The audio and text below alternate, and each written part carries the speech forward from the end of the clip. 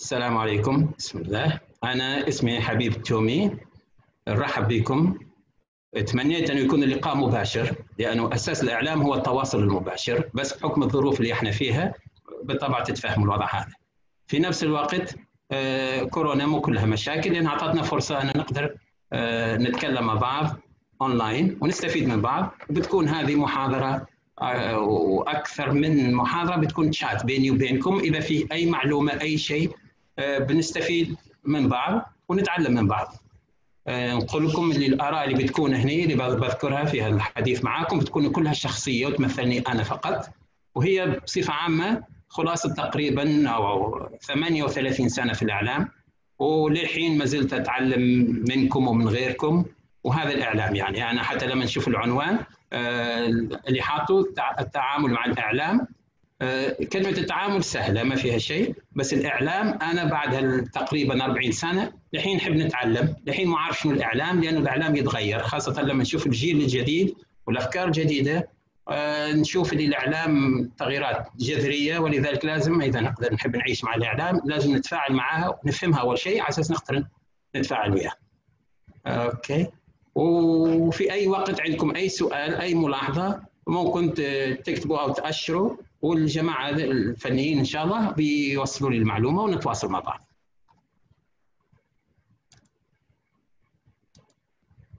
أوكي الخبر أو الصورة أو الحدث هو تأويل شخصي للوقائع والأفكار والإحساس.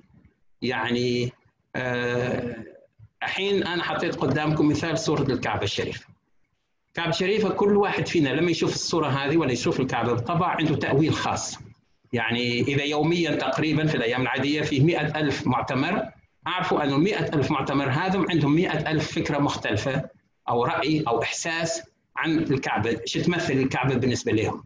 وبالطبع الناس اللي يطالعون في التلفزيون وكل ولذلك صورة واحدة للكعبة اللي هي واحدة بس الصورة هي نفسها. لكن عندنا مئات الآلاف إذا ما قلنا ملايين من التأويلات المختلفة.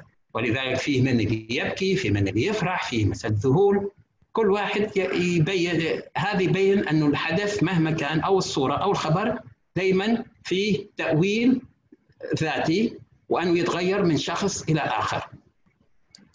كمثال نعطيكم الكلمة هذه ثلاث حروف بس نقدر كل واحد فيكم يقرأها من نوع غير. فيه عدة أمثلة. بالطبع المشكلة لأنه إحنا ما نتكلم بصفة مباشرة ما نقدرش هذه بس أنتم تشوفون. هذه كلمة بسيطة بس كل واحد يأولها بطريقته الخاصة.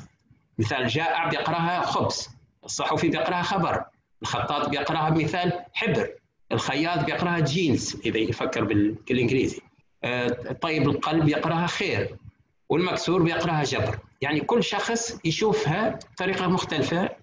نفس الشيء لو تكتب أنا حين أعطيكم كلمة أخضر.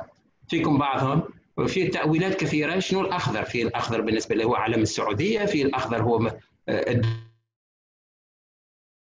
الدولار نقول إحنا كلمة أخضر يبادروا ذهنه أشياء تختلف عن الثانيين. ومو في شيء اسمه صح أو في أو شيء فيه غلط. زين نفس الشيء في التأويل الإعلامي. من كم يوم صار هجوم بالسلاح الأبيض في باريس. كل إنسان شاف هذه بطريقه اللي هو يأولها على كيفه. ولذلك ردود الفعل كانت مختلفة. وزير داخلية فرنسا قال هذه حرب ضد الإرهاب الإسلامي. بينما قال يلزمنا إحنا نشن حرب ضد الارهاب الإسلامي. معارضون للرئيس ماكرون فرنسي قال لك لا لازم تسوي إصلاحات على جميع المستويات. حزب اليمين قال لا لازم نراجع سياسة الهجرة. المحافظون قال لك لا يلزم انه نطرد جميع المسلمين من فرنسا. المتشمتين قال لك لا شارلي هيبدو هي السبب هي البداية هي اللي بدأت بالموضوع. اليساريون قال لك لا أن هذا هجوم على العلمانية. ولذلك إحنا لازم يعرف الجميع أن العلمانية في فرنسا غير قابلة للنقاش. ولذلك كل واحد عنده تأويله الخاص. نفس الشيء لما صار الأسبوع من كم يوم المحاضرة اللي صارت أو المناظرة بين ترامب وجو بايدن. بايدن في لحظة من اللحظات قال كلمة إن شاء الله. ما أدري إذا أنتم تابعتوها ولا المهم قال كلمة إن شاء الله. لأن المحاور سأل سؤال للرئيس الأمريكي قالوا دفعت ملايين من الدولارات كضرائب. ترامب قال نعم دفعت. لكن جو بايدن قال له قاطع ترامب وقال له متى؟ إن شاء الله. هني كلمة إن شاء الله بيصير عدة تأويلات. فيه اللي يقول أنه يعني المفروض ما يستعملش الكلمة هذه. فيه اللي قال لا. لذلك يعني كلمة إن شاء الله بستع... لما استعملها جو بايدن أمريكي صار فيه أنه في أمل في حدوث شيء متوقع. في بايدن قاعد معناتها أصبح مسلم بما إنه يستعمل كلمة إن شاء الله. في من قال لا بايدن يسخر من المسلمين لأن يعني هذه عنصرية ضد المسلمين يطنز بالاستعمال العادي الشعبي. في من يقول لا هذه نستعمل كلمة إن شاء الله على أساس نبين أنها تأخير على المواعيد والقرارات. فيها أنه لن يحدث ابدا وفيه أنه يعني آه، توصيف الشخص الذي لم يفي بوعده هذا ليش يستعمل كلمة إن شاء الله؟ ولذلك كلمة واحدة هي نفسها لكن كل واحد أولها بطريقة غير. نفس الشيء لما صار مع نشر الرسوم المسيئة. إحنا شايفينها مسيئة الرأي الغربي لا يختلف. ومعناتها نعذرهم أو نقول لا أنتم تصرفكم صحيح. لا لكن في تأويلات دائما تختلف. يعني أنا مثال الصحافه الجريدة هذه الدنماركية لايلاندز بوستن نشرتها. بس بالنسبة لهم عادي. أنا شخصيا تقابلت مع صحفية تشتغل مع الجريدة هذه وقلت له وحكيت معها عن الموضوع تفسيرها أنه كيف نسمح لنفسنا أنه واحد جالس في دولة مسلمة من باكستان إلى المغرب مثلا يقول لنا من حقك تنزل يصح لك تنزل الرسوم المسيئه المسيئه الرسوم أو لا؟ قد إحنا أحرار في جريدتنا ننزل الخبر اللي إحنا نبيه ما يحتاج وما يلزمش وما ما يفرضش علينا أي واحد من برا رأيه أنه لا نزل أو ما نزل. ما له حق؟ ولذلك هم بالنسبة لهم يعني آه، وجهة نظر مختلفة. وهني إحنا كمسلمين بالطبع وهني الإعلام ليش الإعلام يصبح مهم؟ أنه لازم يكون عندنا طريقة ذكية للتعامل معه لازم تكون عندنا نعرف كيف تكون عندنا سعة الصدر. طبعا ندين هذا اللي يصير لكن لازم نحسن التصرف معه. يعني مثال الشيخ القطان في خطبة الجمعة وكم واحد لما قالوا okay رد على المس... عليهم بطريقة أخرى تبين خصال الرسول صلى الله عليه وسلم وكل. هذا الكلام الصحيح بس إنك تزعل وتحرق وتسب وتشتم والكل في الأخير هذا ما بيوصلك لأي نتيجة. وعلى فكرة مو بس إحنا اللي دائما يعني عندنا إشكالية في اختلاف وجهات النظر والقيم. هم دائما عندهم بعد نفس الشيء. كم واحد أمريكي تحكي معاه يقول لك why do they hate us بالنسبة لهم إحنا نكرههم. ما يشوفهاش في إطار ثاني. بالنسبة له هو لا. ولذلك أنتم مسلمين هو بتفكير البعض منهم بالطبع أكيد البعض أنه مسلم الشرق الأوسط عايشين خارج إطار الزمن وهذا ليش يكرهونا إحنا عايشين في الزمن ومستفيدين من الزمن ونفيد في غيرنا بالزمن لكن هم they hate us على الأشياء هذه وهم عايشين خارج إطار الزمن. هذه وجهة نظرهم. بس ما نقولش يعني بس ما يحتاج كل مرة ندش في هوشة معه مثال في الإعلام علاش الشيء هذا يصبح مهم؟ خبر السعودية فارحه السعودية وكاله تنبه السعودية. نزل خبر إيرادات قطاع السياحة السعودي 211 مليار ريال يعني رقم رهيب كبير 56 مليار دولار سنة 2018 وبالطبع السعودية متوقعة أو أي واحد فينا متوقع إنه العالم بيهتم بالرقم هذا ورقم مميز وبيعطيه يعني يهتم فيه. لكن اهتمام الغرب كان أكثر شيء في نفس الخبر أن السعودية الأجنبيات غير ملزمات بارتداء العبادة. وهني تشوفوا الفرق يعني في القيم. إحنا عندنا قيم وهم عندهم قيم مختلفة. ولذلك لازم نؤمن أنه قيم مختلفة. مو معناتها إحنا أحسن أو هم أحسن إحنا على حق هم غلطانين وكل ما ندخلش في التفاصيل هذه كل ما في الأمر أنه إحنا لازم نعرف أنه فيه قيم مختلفة ونتجاوب معها نتعامل معها لا نقدر نرفضها بالكامل ولا نقدر نقبلها بالكامل بس لازم نعرف كيف نتعامل مع القيم هذه المختلفة. لذلك قيم واهتمامات الإعلام العربي والعالمي مختلفة جدا من البداية. بالبدايه يعني. أنا أول شيء لما نقول الاعلام العربي ترى نستعمل في معنى واسع جدا للكلمة لأنه أنا أصلي من تونس. ولذلك شفت المغرب العربي والإعلام في المغرب العربي وشفت الإعلام في المشرق والحياة وكل. ولذلك في فروقات كبيرة. ولذلك كلمة الإعلام العربي مو صحيحة يعني. صحيحة لغويا بس مو صحيحة لأنه في فروقات. مهما كانت إحنا نحب نبين كعرب ما فيش اختلافات بيننا لكن في اختلافات. ولذلك خلينا نستعمل بس بنستعمل كلمة إعلام العربي على أساس نقدر نقدم بالموضوع بتاعنا. Okay؟ آه لذلك الإعلام العربي يختلف جدا في القيم والاهتمامات عن الإعلام الغربي. ولذلك في بعض القيم اللي إحنا نتقاسمها معهم. مثل إحنا لما نيويورك تايمز تقول لك لما نطبع إلا الأخبار المناسبة للطباعة. ولذلك ما تشوفش فيها صور خليعة أو أي شيء. اللي إحنا ما ننزلها في جرايدنا العربية. يعني في أشياء متقاسمين معهم بس ما مو بالضرورة بيكونوا عندنا نفس الاهتمامات أو نفس القيم اللي تحركنا أنا بسألكم سؤال بسيط الحين حطوا في الحين حطوا في بالكم. لو أنت جاتك فرصة لتسأل وزير خارجية المملكة العربية السعودية سؤالا شنو السؤال اللي بتسأل وزير خارجية المملكة العربية السعودية؟ بنجي بعد نواصل على هالموضوع. زين نبدأ اللي يهمنا بالبدايه في الوعي الإعلامي اللي لازم يكون عند أي كل شخص فينا. أول شيء التعددية الإعلامية وحق الاختلاف وعدم الانسياق وراء المشاعر. أي واحد يحب ينجح اعلاميا أنه ما تكونش أنت عندك قدرة للتفكير وقدره للنقد وقدرة للتحليل قدرة على التحليل وقدرة على النقد وعلى التفكير على أساس تكون إعلامي. حتى لو تحلل جميع الرسائل الإعلامية وعندك قدرة على قراءة الطبقات المتعددة ال layers المختلفين في كل خبر وفي كل أي شيء لأنه مو كل شيء مثل ما يبين دائما فيه layers في بين السطور والاسطر هذه. لكن أنت لازم في حقائق معلومات لازم تكون عارفها لازم تكون فاهمها. مو أنت يعني الصحفي ككل لازم يكون آه يعرف كيف يتصرف معها أنت يعني فرضا آه الوعي بتاعك كيف تتصرف لو يجيك شخص في الشغل ويقول لك أنت آه مثال فلان أو فلانة تقول عنك هالكلام هذا. تسمع ما تسمع تواصل متى تواصل. هذا تصرف أنت لما زميل في العمل مثالي يسيء لك شنو شنو اللي تسوي؟ تواجهه تتجاهله هذه اختياراتك. نفس الشيء في الإعلام.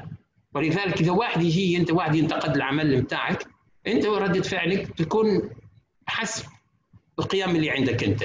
في الإعلام نفس الشيء.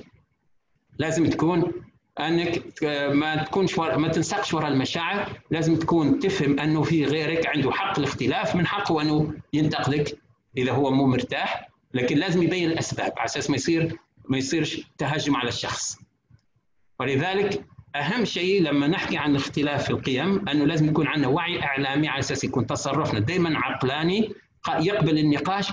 وأهم شيء ما يطيحش في موضوع الاستفزاز لأنه اللي ورطنا أكثر شيء هو الاستفزاز. والغرب فاهم هذه الفكرة هذه اللي عندنا إحنا كعرب وكمسلمين بصفة عامة أنه لسوء الحظ نستفز بسهولة وتكون ردة الفعل بتاعنا مو دائما عقلانية وهو يبني كثير من الأمور على ردة الفعل هذه.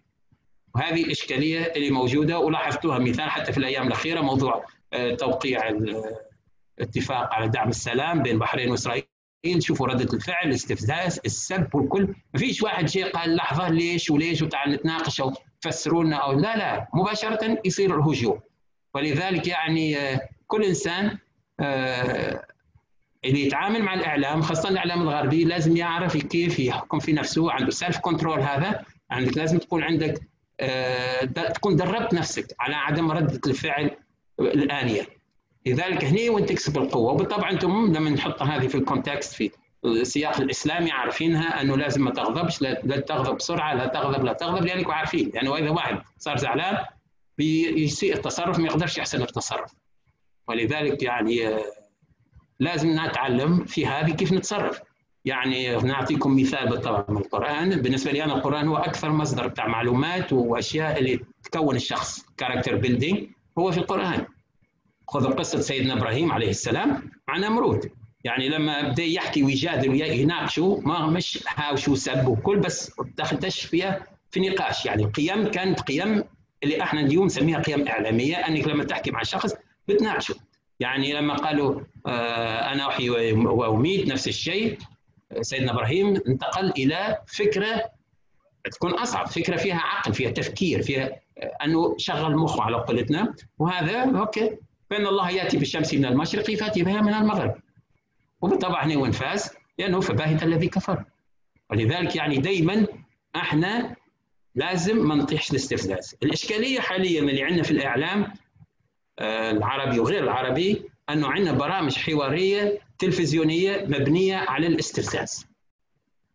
والمشكل أنه كم واحد يروح ويحب يشارك ويظن نفسه أنه بيقدر لكن يقدر يتكلم يقدر يجادل يقدر يناقش يقدر يشرح. لكن فيه استفزاز قوي جدا يخليه يضيع وينتقل من شخص عادي عقلاني إلى شخص يعني هجومي.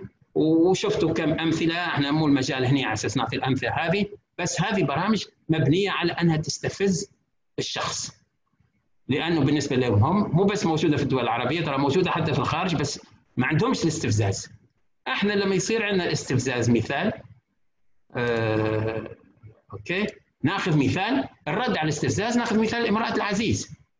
يعني لما تكلموا عنها النساء ما قالتش آه أنتم وأنتم وراح تثبتهم ومشات طبعا ذاك الوقت يعني كمثال نحكي لك. لو أخذت مثال قديم وحطيته في اليوم الحاضر أنه تروح الفيسبوك أو تروح الإنستغرام وتسب وهذه وكلها حتى توريهم اللي هم غلطانين اللي هم مش مقدرينها ولذلك سوت اللي تعرفوا على سوت وموضوع أنها نادت السيدات الطبقة الراقية هذه. في المدينة ونادتهم إلى القصر وأعطت لكل واحدة منهم سكين. وأنتم عارفين القصة يعني. Okay؟ ولذلك هي في شيئين سوتهم ما ردتش على الاستفزاز مباشرة. وثاني شيء استعدت وهذه بنشوفها بعد في مرحله أخرى موضوع الاستعداد للنقاش أو للحوار أو أي شيء. وهني رتبت الأمر وخلاص ونجحت. يعني وصلت توضح النقطة نتاعها من غير استفزاز. وهذا المطلوب اللي إحنا نقدر نسويه ويلزمنا نسويه. Okay؟ نعم. ليش في اختلاف بين القيم في القيم الإعلامية بين الدول؟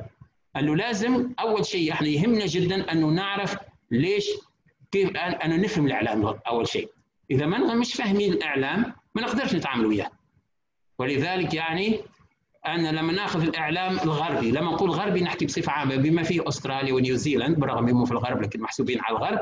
ونحكي على الإعلام العربي مثل ما قلت في الإطار الكبير للدول العربية والآسيوي وحتى الإفريقي مختلفين هذه قيم كل واحد فيهم أوكي Oh, sorry, هذه مو sorry. Video is not working? There's a video here.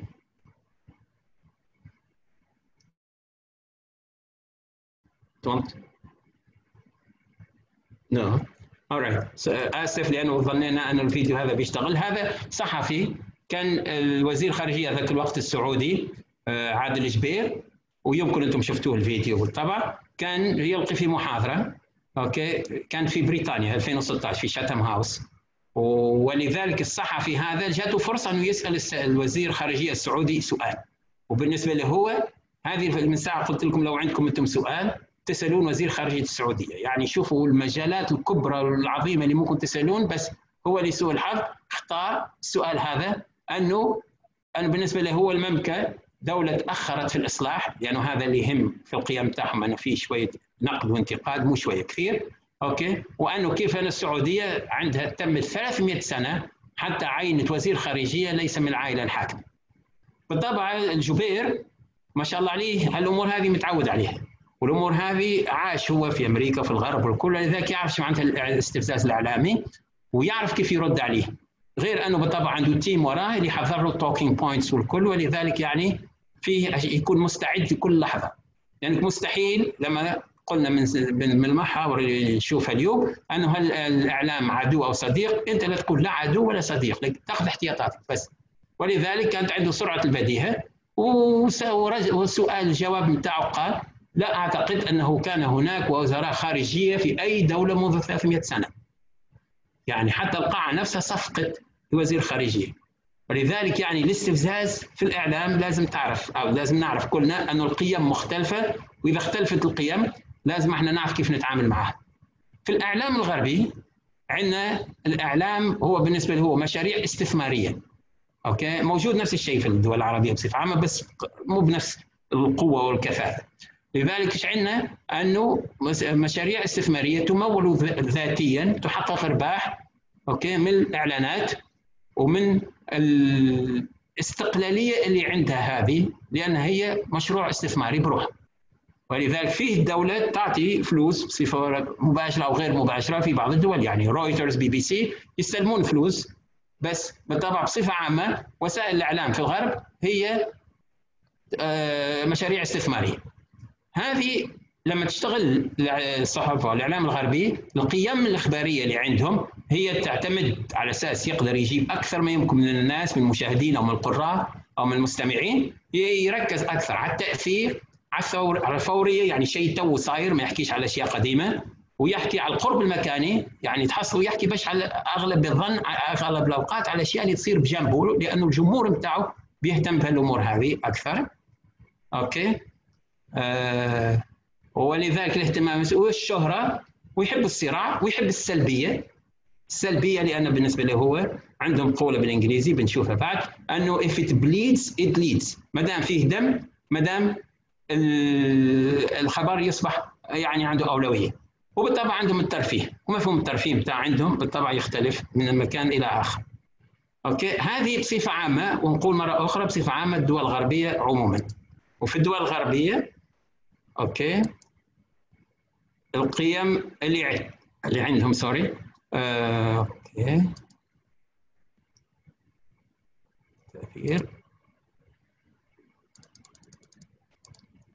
okay الإعلام الغربي. الحين نروح للإعلامي.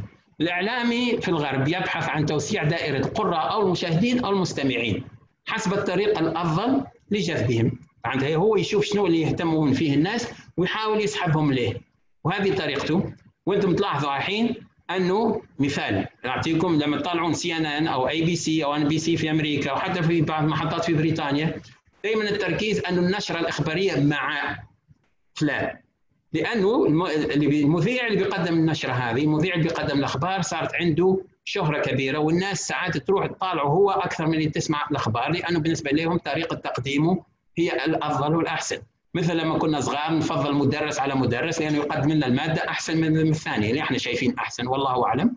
نفس الشيء. ولذلك هم يسووا دعاية للأخبار أنها بتكون مع آه، كريستيان أمانبور مثلا في CNN. مثلا. ولذلك بالنسبة لهم انه المذيع هو اللي يجيب الأخبار. المذيع حتى لو مو هو كاتبها بس طريقة تقديمه الطريقة هذه يصبح الإعلامي هو الأهم شيء. أوكي؟ والإعلامي بالطبع في الغرب عنده وضع اجتماعي واقتصادي وملائم وموقع اجتماعي محترم جدا يعني وضعه الاجتماعي والاقتصادي ملائم جدا ووضعه الاجتماعي محترم أنا أعطيكم مثالين اللي أنا عشتهم مثل ما قلت لكم كل الأمثلة اللي بعطيكم إياها مو معناتها أنا موافق عليهم بس هذه أمثلة أنا عشتها في حياتي في هالسنوات هذه في البحرين وخارج البحرين. آه، توماس فريدمان إعلامي مشهور يكتب في New York Times. توماس فريدمان يحكي نحكي مع بعض على موضوع عده مواضيع منهم موضوع أنه هو مو ملازم مو مطلوب مو مطلوب منه أن يروح الجريدة بتاتا أو أن يلتزم بأي شيء توقيت أو شيء في في New York Times. كل ما يهمهم أنه عنده اتفاق وياهم يبعث لهم ال opinion piece الرأي هذه اللي عنده القطعة اللي يكتبها بس. هذا من ناحية الحرية ومن ناحية الفلوس. ذاك الوقت من كم سنة كان على القطعة الواحدة يستلم 3000 دولار. 3000 دولار يعني وضع اجتماعي آه، محترم الجريده محترمته العالم برا طبعا فيها مين ووضع اقتصادي المالي معناته راتبه ما شاء الله. هذه 3000 عن كل قطعة. لو في الشهر يكتب خمس شوفوا كم يستلم. غير هذا بالطبع امتيازات الأخرى وكل. تعرفت على مراسل جريدة Zeitung الألمانية في دبي. قال لي آه، قلت له كم تطلب منك Zeitung من خبر؟ لازم تكتبه من دبي. قال لي ولا خبر. ممكن أكتب خبر في الشهر ممكن خبر في أسبوعين ولا مرة فيه أي ضغط علي أن يجيب خبر. بالطبع لما يجيب خبر يجيب خبر قوي مو بيجي يجيب أخبار بسيطة.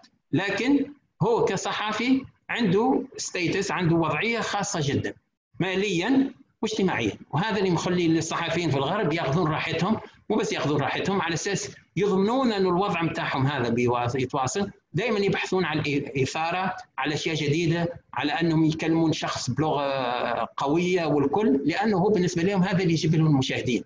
يعني لما يكلم ساعات مسؤول في دوله أو في هذه مو معناته إنه يكرهه أو ما يحبوش. لا لأنه بالنسبة له هو هذا الناس شنو تحب تشوف برا؟ المستمعين ولذلك هو يسويها بالطريقة هذه. ولذلك we have to understand يعني لازم لازم نفهم إنه هو كيف اسلوب تعامله ليش يتعامل بالطريقة هذه وليش aggressive اللي إحنا؟ بينما إحنا نشوف جماعتنا بصفة عامة متأدبين ويتكلمون بخلق وهذا وكل والثاني لا. لأنه هو بالنسبة له هو على أساس يبقي على المجال اللي هو فيه وعلى الوضع اللي هو فيه الذاتي وللجريدة أو للوسيلة الإعلام اللي هو يشتغل فيها لازم يتصرف بالطريقة هذه اللي هي very aggressive هذا بالنسبة للغرب. okay. نمشي للإعلام. اللي عندنا إحنا حتى اللي أنا مسميه الإعلام التنموي. okay؟ يقول تنموي يعني ما نحبش ما نيش نقول بس العرب. ترى موجود حتى في إفريقيا موجود في عدة دول أخرى. okay؟ أنه هو الإعلام هذا الوسائل الاتصال الموجودة هي تحقيق أغراض التنمية وتثقيف المجتمع والمحافظة على الاستقرار العام. هذا الهدف نتاعها الأول. لا فيه لا إثارة ولا فيه مشاكل ولا فيه تعال أنا بنهاوش الدولة هذه بسبها ولا ما فيش بصفة عامة بصفة عامة نحكي. لذلك هي وسائل الاتصال على أساس أنها آه، خاصة في البدايات في السبعينات والثمانينات أنه ما فيش مدارس كافية ما فيش. الدولة تستغل أن الإعلام على أساس تثقف وتعلم وتأدب الأشخاص ولذلك آه، الشعب ككل. ولذلك ما فيش أي إشكالية بالنسبة لهم هذا إعلام تنموي والإعلام التنموي معناتها ما فيش ضغوطات تسويق. اللي يشتغلون في الجريدة هذه ما عندهمش الفكرة بصفة عامة أنه لازم يسوق لجريدته لأنه يعني ما فيش ضغط أنه لازم تسويها. الضغط الوحيد أنه لازم يجيب أخبار اللي هي تساهم في الإعلام التنموي. ولذلك التركيز على تحقيق أهداف التنمية الاجتماعية والاقتصادية والمسؤولية المجتمعية. لذلك هذا اللي موجود في الإعلام. القيم بتاعنا مختلفة جدا. وهذا من الأسباب اللي تخلينا إحنا والإعلام الغربي ومرة أخرى نحكي على الغربي بإطار واسع أنه ما عندناش نفس التوجهات. آه، في الصحافة العربية مثلا ونحكي العربية من البحرين تونس مغرب كل بس نحكي بصفة عامة يعني العربية عندنا مثال ثقافة الحشو. أنه صارت من الأول أنه عندك صفحة لازم تمليها. ولذلك رؤساء التحرير من البداية يشجعون الإعلاميين أنه يبي الصفحة أو صفحتين يكونون أو ثلاث هذه يكونون فل. هذا من الإشكاليات الكبرى. ابتدت قبل وحاليا بعض رؤساء التحرير في بعض الدول العربية بعد مواصلين عن نفس الأسلوب. أنا نذكر مثال سوينا دورة هني في الوزارة وكان فيها أخونا عارف الحجاوي يتكلم فيها وسوى الدورة وكان من النصائح اللي قدمها بعض الإعلاميين في البحرين انه بعض المقالات بتاعكم طويلة جدا. أنتم ممكن تعطوني اللي إحنا نسميه زبدة الزبدة وما يحتاج تحط كل هالمعلومات الزايدة الإضافية هذه ما لها أي معنى. اللي هو بالطبع يعتبرها حشو. في واحد من المشاركين في الدورة يحكي لي بعد قال لي رجع وحب ينفذ يطبق الفكرة وكتب خبر وأعطاه المسؤول بتاعه الديسك. شافوا قالوا شنو الخبر هذا؟ اشرح له أنه أنا حطيت الأشياء المهمة اللي تهم القارئ الآخر كل حشو ما يهم القارئ. الثاني يسحب له ال template هذه ال sheet الأبيض ويوريه يقول له زين والفراغ هذا من بيمليه؟ إذا أنت بتعطيني بس أنا حاطط لك مثال مجال بتاع 400 كلمة وأنت بتعطيني 100 كلمة بس. هني وين المشكلة؟ وقلت له إيش سويت؟ قال لي بس يعني هو ال boss يعني هو المسؤول ولذلك أعطيته آه، اللي هو يبدو صرت نحن نحط في كلام حشو حشو حشو وهذه الإشكالية اللي موجودة ولذلك صار عندنا في الدول العربية بصفة عامة أن بعض الإعلاميين بالرغم من سنوات من عمل في المجال الإعلامي ولكن ما فيش ما يحسش ما هوش قاعد ما عندوش إحساس قوي مع المتلقي بسبب لأنه ما يجدد أسلوبه. نفس الأسلوب اللي كان يكتب فيه من سنوات هو نفسه ولذلك يعني تحصل المذيع الصح الصحفي هذا يعني يظهر له هذه المدرسة ولما يجيوا صحة مع إعلاميين جدد يعلمهم نفس الشيء وهذا الأسلوب و و ويخليهم يعني الموضوع ثقافة كاملة تصير ثقافة الحشو وهذه إشكالية. وطبعا في استثناءات والحمد لله وشفتهم. أنا أعطيكم مثال الاستثناء على مستوى التلفزيون. أنا نعرف مذيعة مثلا لما جات آه، أعطاوها الدروس وتعلمت وهذه لكن بعد ما اكتفتش تروح البيت كانت تروح تشوف المحطات الكبرى. وتتبع. شفت كيف المذيعات يتصرفون وتتعلم منهم. على أساس هي بعد تطبق. يعني مو بس مجرد أنه اللي علموك خلاص انتهينا. لا في القيم الإعلامية اللي عندنا لازم إحنا نتعلم داخل العمل وخارج العمل. كل ما نحصل فرصة لازم نتعلم. أنه لازم آه، نطور أنفسنا. بس إذا نواصل بالطريقة هذه في الدول العربية أنه أي واحد من كل من هب ودب خاصة الحين صار في الإعلام الإلكتروني مثل ما تلاحظون يصير صحفي يكتب كلمتين من أي شيء ويصير يسمي نفسه صحفي أو كاتب عمود وبالطبع يكتب على راحته والكل هو بعيد كل البعد عن الإعلامي هو يحب يسمي نفسه إعلامي عائلته أو أصحابه أو ناسه أو المتابعين يسموه إعلامي لكن هو لو يلاحظ لو تلاحظون وأكيد لاحظتوا بالطبع أخطاء لغوية ركاكة تعبيرية الأشياء هذه كل ما تخليش إعلامي يعني مستحيل يكون إعلامي بالمعنى اللي إحنا نتمنى الإعلاميين العرب يكونوا. زين الإعلام التنموي بعد الإشكالية اللي عندنا بالنسبة لنا في قيم تاع الإعلام تاع تنموي أن الإعلام يتقاضى مبلغ ماليا مقطوعا أو منتظما يعني راتب شهري أو بالقطعة وفي الأخير الإعلام يصبح موظف. وهذه الطامة الكبرى اللي عندنا أنه بالنسبة لنا أن الإعلامي صار موظف ولذلك لا فيه لا إبداع ولا أفكار جديدة ولا أي شيء بالنسبة له هو لأنه يقول لكم أنتم سمعتوا أكيد كم واحد أنا شغلي قد الراتب اللي يستلمه أنا ليش نتعب نفسي نجيب أشياء وبعدهم المسؤول يرفضها أو يمكن أنا نورط نفسي في مشاكل أو إشكاليات وهذا بالطبع يقول لك لا خليني موظف اللي يعطيني اللي يطلب مني أسويه أسويه وانتهى الموضوع. وهذه إشكالية لأنه الاعلامي إذا ما يكونش مبدع ما يكونش إعلامي. الإعلامي مستحيل يكون موظف مستحيل. الإشكالية الثانية اللي عندنا انه صاير خطأ كبير انه نربط الإعلام بالعلاقات العامة. ولذلك موجود على مستوى الجامعة مستوى على عدة أشياء عدة أماكن آه، الإدارات مثل ما تلاحظوا. وهني وين إشكالية؟ ترى الإعلام والعلاقات العامة ما لهم علاقة بين بعض ما لهم أي علاقة. العلاقات العامة يمكن تاخذ من الإعلام شوي أو يمكن من الإعلام ياخذ من العلاقات شوي بس كل واحد مستقل عن الثاني. واصلا إحنا لو نحكي عن العلاقات العامة للأمانة اللي موجود ال potential اللي موجود على العلاقات العامة شيء لازم يكون مهم جدا.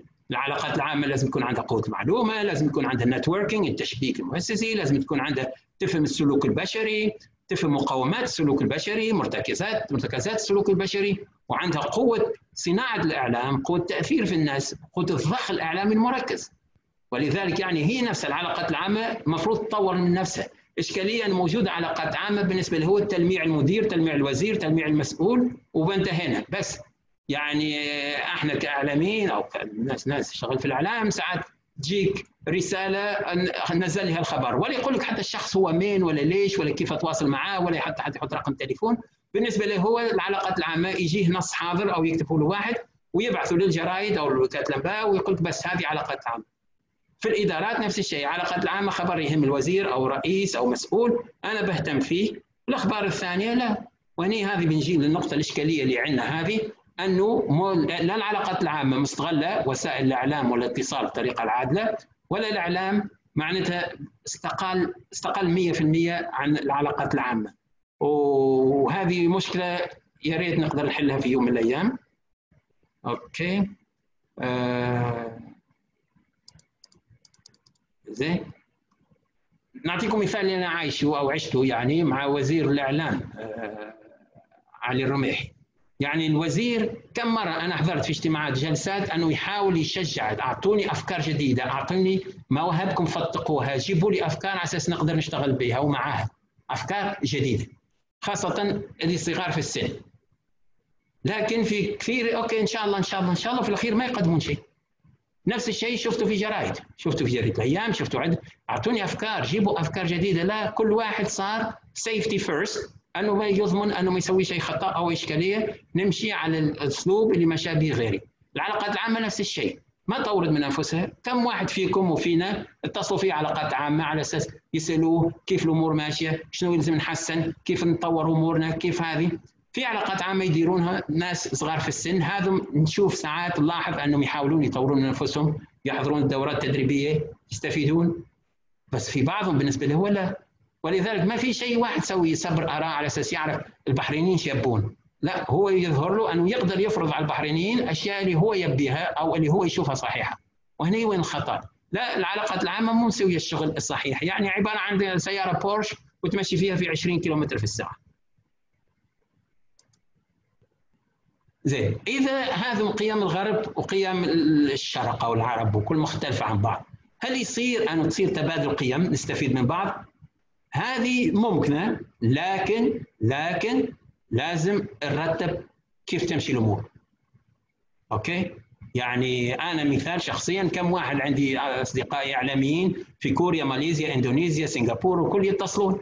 يبون مثال إعلام وثائقي من البحرين. إعلام وثائقي من البحرين لسوء الحظ ما عندناش كثير. قبل كبرامج الأول في بداية التلفزيون وهذه وكل كانت في برامج كثيرة. بس بعدين التوثيق ما عندناش توثيق بالمعنى هذا لا في إعلامنا الصحف ولا شيء. انه في بعض الجرائد يعني حاول تتوثق لكن كانت طريقة محتشمة. ما فيش إعلام توثيق وهني مشكلة.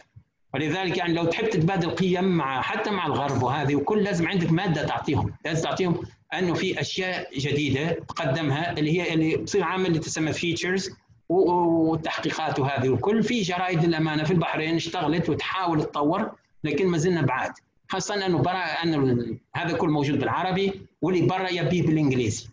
وإحنا مو موفرينه بالإنجليزي كما ينبغي. هذه النقطة الأولى الإشكالية الأولى. عندنا بعد في تبادل القيم يعني في قنوات عربية تشوف برامج موجودة في أوروبا وتحب تسويها هي تستغلها وتسويها. وأحسن مثال بالطبع عندنا اللي إحنا شايفينه. ومرة أخرى نزيد نأكد اللي أنا مو نأيد هالبرنامج أو نسوي له في دعاية البرنامج هذا ولا غيره. وانما نحكي بصفة إعلامية بحتة. خذ مثال برامج الجزيرة مثال الاتجاه المعاكس. الاتجاه المعاكس برنامج موجود من قبل بطريقة أخرى بالطبع. في أمريكا Crossfire في بريطانيا HARDtalk BBC موجود. لكن لما يصير برامج الحوارية هذه اللي نحكي عنها ما نقدرش نستوردها بالكامل من الغرب. ليش؟ لأنه إحنا في الغرب فيه حياة حزبية فيه آليات فيه نشاط سياسي غير الإعلام. يخلي الإنسان يتكلم يمين يسار ويفهم ويتفهم. ولذلك البرنامج يقدر ينجح عندهم لأنه في خلفيات. في أماكن أخرى أنت تقدر تتنفس وتتكلم وتشارك آرائك فيها. إحنا لا. البرامج اللي عندنا حاليا اللي موجودة مثال أنها كل ما تسوي هي تعمق الاستقطاب السياسي اللي موجود. وتصير يعني أنت تطلع برنامج غير عن الاستفزاز والسب والشتيمة والكل. دائما في قطيعة يسوي لك في قطيعة إيديولوجية سياسية. ولذلك يعني ما عندكش فرصة أنك فعلا تستفيد لأنك أوكي شفت هالبرنامج هذا اثر عليك. بس ما تقدرش تحكي برا ما تمشيش أماكن أخرى اللي تقدر تتواصل معاهم اللي تقدر تنفس عن بعض الأفكار اللي عندك. وهذه إشكالية يعني أنه البرامج آه، هذه الغربية لما تستوردها بالكامل بصفة عامة ما تنجحش عندك. لأنك يعني ما عندكش الإطار الاجتماعي اللي يخليها تنجح بسهولة. أوكي؟ آه لازم يكون في انفتاح في الدول على أساس تتقبل النقد والانتقاد. المشكلة أنك تجيب إعلامي يجلس قدامك ولما تنتقده ليش وليش يصير فيه سب وشتيمة. وهذه ما يلزمش تصير يعني. صعب جدا أن يكون البيئة الإعلامية والبيئة الاجتماعية تختلف. نرجع لوسائل الإعلام الحين اللي محور آخر هو هل وسائل الإعلام صديقة أم عدوه؟ في المطلق في المطلق لا هي وسائل الإعلام لا هي صديقة ولا هي عدوه عندها مصالح إيديولوجيات وخط تحريري تمشي فيه. ولذلك هذا لازم نتقبل هذه. مش لا يعني عبارة عن أنا نجي واحد مشجع من النادي المحرق ونقول له خلاص بداية من بكرة أنت بتصير تحب الرفاع الغربي أو العكس. ترى فيه آه، مواقف فيه اتجاهات أو مصالح أو ايديولوجيا أو حب النادي اللي أنت ما تقدرش تغيره. ولذلك الإعلام نفس الشيء حتى هو عنده توجه لو حتى مقتنع بكلامك ما يقدرش يوجه الخط التحريري ما يقدرش يغير الخط التحريري لأنه معروف مثال ليموند في فرنسا جريدة يسارية. مثال The Guardian ولا Washington Post جريدة يسارية. يعني لو تجيب لها أي شيء محافظ لا ما تقبلوش. CNN مثل نفس الشيء. والعكس في جرائد أخرى يمينية اللي لو تجيب لها فكرة حتى لو هي صحيحة بس بالنسبة لهم لا لأن ما تمشيش في الخط التحريري أو تتماشى مع الأيديولوجية بتاعهم هم. هني تصير إشكاليات. زكريا is it working? The video? آسف بس نتأكد من فني إذا الفيديو شغال. no no. no no. آسف هذه دعاية Nivea كانت صارت. بس للي شافها فيكم بس أعطيكم فكرة على بصفة عامة. أنه واحدة جالسة في المطار يصورونها على أساس يسوونهم دعاية بس بالطبع يصورونها وينزلون صورتها في التلفزيون وفي وسائل الإعلام. يعني واحد يكون ماسك جريدة قدامها جالس يبين أنها هي إرهابية. يعني الإعلام ممكن يحولك ارهابي هي مسكينة بريئة مثل ما تشوفون بس صورة واحدة والصورة هذه يطبعونها على شكل جريدة ويجلس شخص قدامها وماسك الجريدة ويبين أنه هو انها هي إرهابية لأنه محطوط بالبنط الكبير. هذه إرهابية وإذا شفتوها خبروا الشرطة عنها وذلك يعني الإعلام ممكن يحول أي واحد بسهولة إلى إرهابي والعكس يكون إرهابي يحوله لك إلى ملك بالطبع من اللي يعادي الإعلام مباشرة؟ قلنا له صديق له عدو الإعلام ولذلك لا تعاديه ولا تحبه. اتعامل معه. بس وتعامل معه بذكاء وبدون ما تطيح في أي نوع من الاستفزاز. الوحيد اللي يقدر اللي يقدر يعادي الإعلام بصيره كبيرة جدا بالطبع هو دونالد ترامب. ليش؟ لأنه عنده 68 مليون متابع. غير بطبع وسائل الإعلام الكل فكرة دونالد ترامب أنه لازم يوميا يكون في الإعلام العالمي مو بس في أمريكا. بطبع أمريكا تهمه الأول بس عالميا. ليش؟ هو في اعتقاده أنه ما دام موجود في الإعلام ما دام الناس تحكي عنه ما دام الناس تعرفه ما دام الناس يشوفونه ويقول لك هيز وركينج يعني قاعد شغال هذا مو جالس في بيته ولا أي شيء. ولذلك هو بالنسبة له هو لازم يكون موجود دائما هو في الإعلام بصفة عامة إحنا المبدأ هو 50 50 إحنا نحتاج للإعلام 50% والإعلام يحتاج لنا 50% لكن بالنسبة لترامب هو الإعلام. قدم نفسه أنه هو الإعلام ونجح فيها. ما مرة أخرى مانيش نحكي أني موافق ترامب ولا أنا ضده. أنا نحكي لكم على الطريقة اللي هو يتعامل بها مع الإعلام والإعلام. وتشوفوا الوحيد تقريبا اللي يقدر يرفع صبعه بهالطريقة هذه ويكلم إعلامي ويسبه والكل. والناس ما تهتمش بال okay في جرائد في وكالات انباء في محطات تلفزيونية بتحكي عن السب والشتيمة بس هذا هو اللي يبيه. هو يبي يكون دائما في الإعلام. ولذلك إحنا آه لما نتعامل مع الإعلام الغربي لازم نفهم أنه الإعلام الغربي بصفة عامة عنده توجهات إيديولوجية ما عندوش اتجاهات تنموية مثل ما عندنا إحنا. ولذلك هو عنده already وجهة نظر مكونها عن دول الخليج. وشفناهم في كم مناسبة هذه وكل okay؟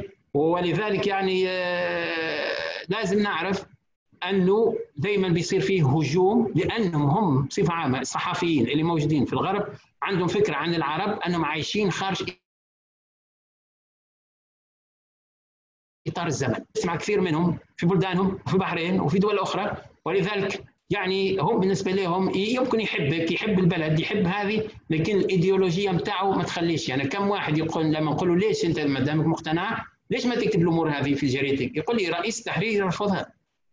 ليش يرفضها؟ أول شيء ضد الخط التحريري بتاعنا إحنا، وثاني شيء أنه رئيس التحرير يقول لي يعني حتى لو هو مقتنع يقول ترى الجرائد الثانية تكتب في شيء غير. أنا ما نقدرش نكتب شيء اللي أنت قلت. برغم أنه هو مقتنع أنه صحيح. فلذلك دائما تبقى عملية وجهة نظر. ومثل ما قلت لكم الإعلام بين الوس... العلاقة بين وسائل الإعلام والمتلقين 50% 50% لهم للإعلام 50% للشخص. يعني أنت تحتاج الاعلام تحب ولا تكره والإعلام يحتاج لك يحبك أو يكرهك. ولذلك هذه الإعلام. كثير من وسائل الإعلام لما تتكلم وتقول لك أنا مستقلة وأنا موضوعية وأنا محايدة والكل لكن لا هو في الواقع تحب تحافظ على ثقة الجمهور بها وتروج ودائما تروج لنفسها وتكرر الشعار اللي إحنا نحتاج الاعلام ولكن هو 50 50 نمشي المحور اللي هو مرتبط بهذه. الإعلام كقوة ناعمة وقوة حادة. القوة الناعمة بالطبع أنتم عارفين يعني أنا ما لأنه بحكم الوقت اللي عندنا ما بدخل كثير في التفاصيل عن القوة الناعمة والقوة الحادة لكن معروفين. وعلى فكرة تقريبا أغلب الأفكار اللي اليوم نحكي فيها مع بعض هذا موجودين في الإنترنت أو يعني تقدروا تشوفونهم وتعمقون أكثر في الأفكار هذه الناقشه ولذلك آه، القوة أنتم عارفين القوة التقليدية هي دائما الاستعمال الأسلحة الأرضية والجوية الثقيلة والخفيفة والكل واللي هي كانت الأول هي تفرض الآراء. الحين لا الإعلام صار قوة ناعمة وقوة حادة. بنشوف الفرق هذه للتأثير على الرأي العام.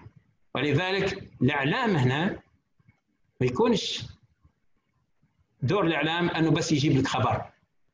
وهذه النقطة اللي لازم نهتم نعرف.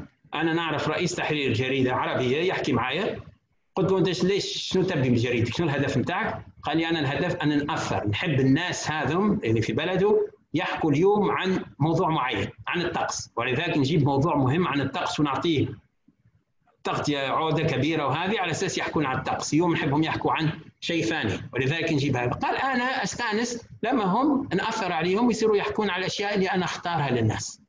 هذه قوة ناعمة هو يستغل في جريدته على أساس أنه يمشي الأفكار اللي هو مقتنع فيها أو اللي يبي الناس تفكر فيها. زين القدرة القوة الناعمة هي بريق. تلمع يعني. هي تكون ثقافة وتكون قيم. ولذلك هي أنها تقدر تجذب الشخص بدون ما تخليه يشعر أو بتحاول ما تحاولش تقنعه مباشرة بتخليه من غير ما يشعر أن تجذبه للفكرة اللي هي عندها. ولذلك ما عادش تستعمل القوة كوسيلة للإقناع. وهذه بالطبع موجودة وأنتم عارفينها أكثر شيء الفيسبوك الواتساب التويتر هذا كلهم العنوان البارز للقوى الناعمة. الهدف بتاعها النفوذ السيطرة الهيمنة السلطة وكل واحد كيف. في بعضهم مثال يستعمل القوة الناعمة في كباريق الثقافة مثال أكثر مثال أكبر مثال شايفينه مؤخرا هي المسلسلات التركية. ولذلك أنتم عارفين ما بدخل في التفاصيل أكثر الشغل المسلسلات التركية. ساعات قوة ناعمة نشوفها مثل هذه ساعات قوة ناعمة مختفية نوعا ما. يعني شركة طيران مثال تركيا لما تفتح في عدة دول إفريقية ليش تفتح شركة طيران؟ أساس تفتح المجال أنهم يزورون تركيا أو يمشون تركيا أو يعبرون يروحون دول أخرى عن طريق تركيا تعطي أسعار أحلى ولذلك الناس يصيروا عندهم اهتمام في تركيا. ومرة أخرى نزيد نكرر أنا مو أنتقد أو أمدح الاسلوب اللي مسويته مثال تركيا أو دول أخرى مو بس تركيا. تركيا هي المثال اللي صار في الدول العربية في السنوات الأخيرة اللي باين قدام أكثر واحد. الحين القوة الناعمة هي تحدد الخبر. هي اللي تخلينا إحنا تقول خبر هذا مهم لا ولا خبر تافه مين بطل مين المجرم مين الرابح مين الخاسر فيه منظمات ومحطات تلفزيونية وكل عندهم أشخاص بصفة عامة شخص واحد أو اثنين اللي هم يقرروا مثال العملية هذه اللي صارت هل هي عملية انتحارية أو استشهادية؟ ولذلك تشوفون أنه ساعات لما يحكوا عن خبر معين يقول لك عملية انتحارية. في أوقات يقول لك استشهادية. ولذلك هم هذا الناس اللي يجيبونهم على أساس ينبهونهم كيف يتصرفون. شنو الكلمات اللي يستعملونها؟ لأنه يعني ما يصير نفس المحطة. أنا تصير يصير شيء يقولوا آه، آه، عملية استشهادية وبعد في الخبر اللي بعده مذيع آخر يقول مثال عملية انتحارية. ولذلك يجيبون خبراء لتوجيه الوسيلة الإعلامية. وهذا موجود في الدول العربية وفي عدة أماكن. القوى العامة الناعمة في الاعلام عندنا مثال. اللي يصير أنه يصير حدث يصير أي شيء. ولذلك مباشرة بعد ما يصير الحدث نتحول إلى ما يسمى ال fast news. وشفتوه أنتم fast news؟ هذا على شكل ماكدونالدز. ناخذ fast news نحط فيها أشخاص وتصير عندي story شلون نسوي story على أساس أنا نحب الناس يتأثرون أنا أستغل الحدث اللي صار على أساس أثر به على الناس. سيدا نجيب الخبر. مباشرة بعد المرة أولى breaking news وهذا خبر عاجل نزلت خبر. وبعد عندي مرة واحدة عندي خبراء محللين مختصين. okay؟ لحظة لحظة. شنو هم الخبراء والمحللين والمختصين؟ من وين جبتوهم؟ وش عرفهم في اللي صار؟ وش عرفهم في شيء صار. مثال أمس صايرة أمس أمس في كيرغستان في بشكيك بالذات في عاصمة كيرغستان كانت فيه مثال محاولة ما نقولش انقلاب لكن تمرد على السلطة. مرة واحدة طالع تجيب التلفزيون ويبدأ يحكي عن كيرغستان انت لو تساله كم عدد سكانها أو شيء ما عندوش فكره أنا يحكوا لي إعلاميين وأنا عارف. بالطبع شفت. أنا نفسي صار لي الموقف. يتصلون فيك يقول لك تعال أنت بتعطي رأيك في موضوع معين.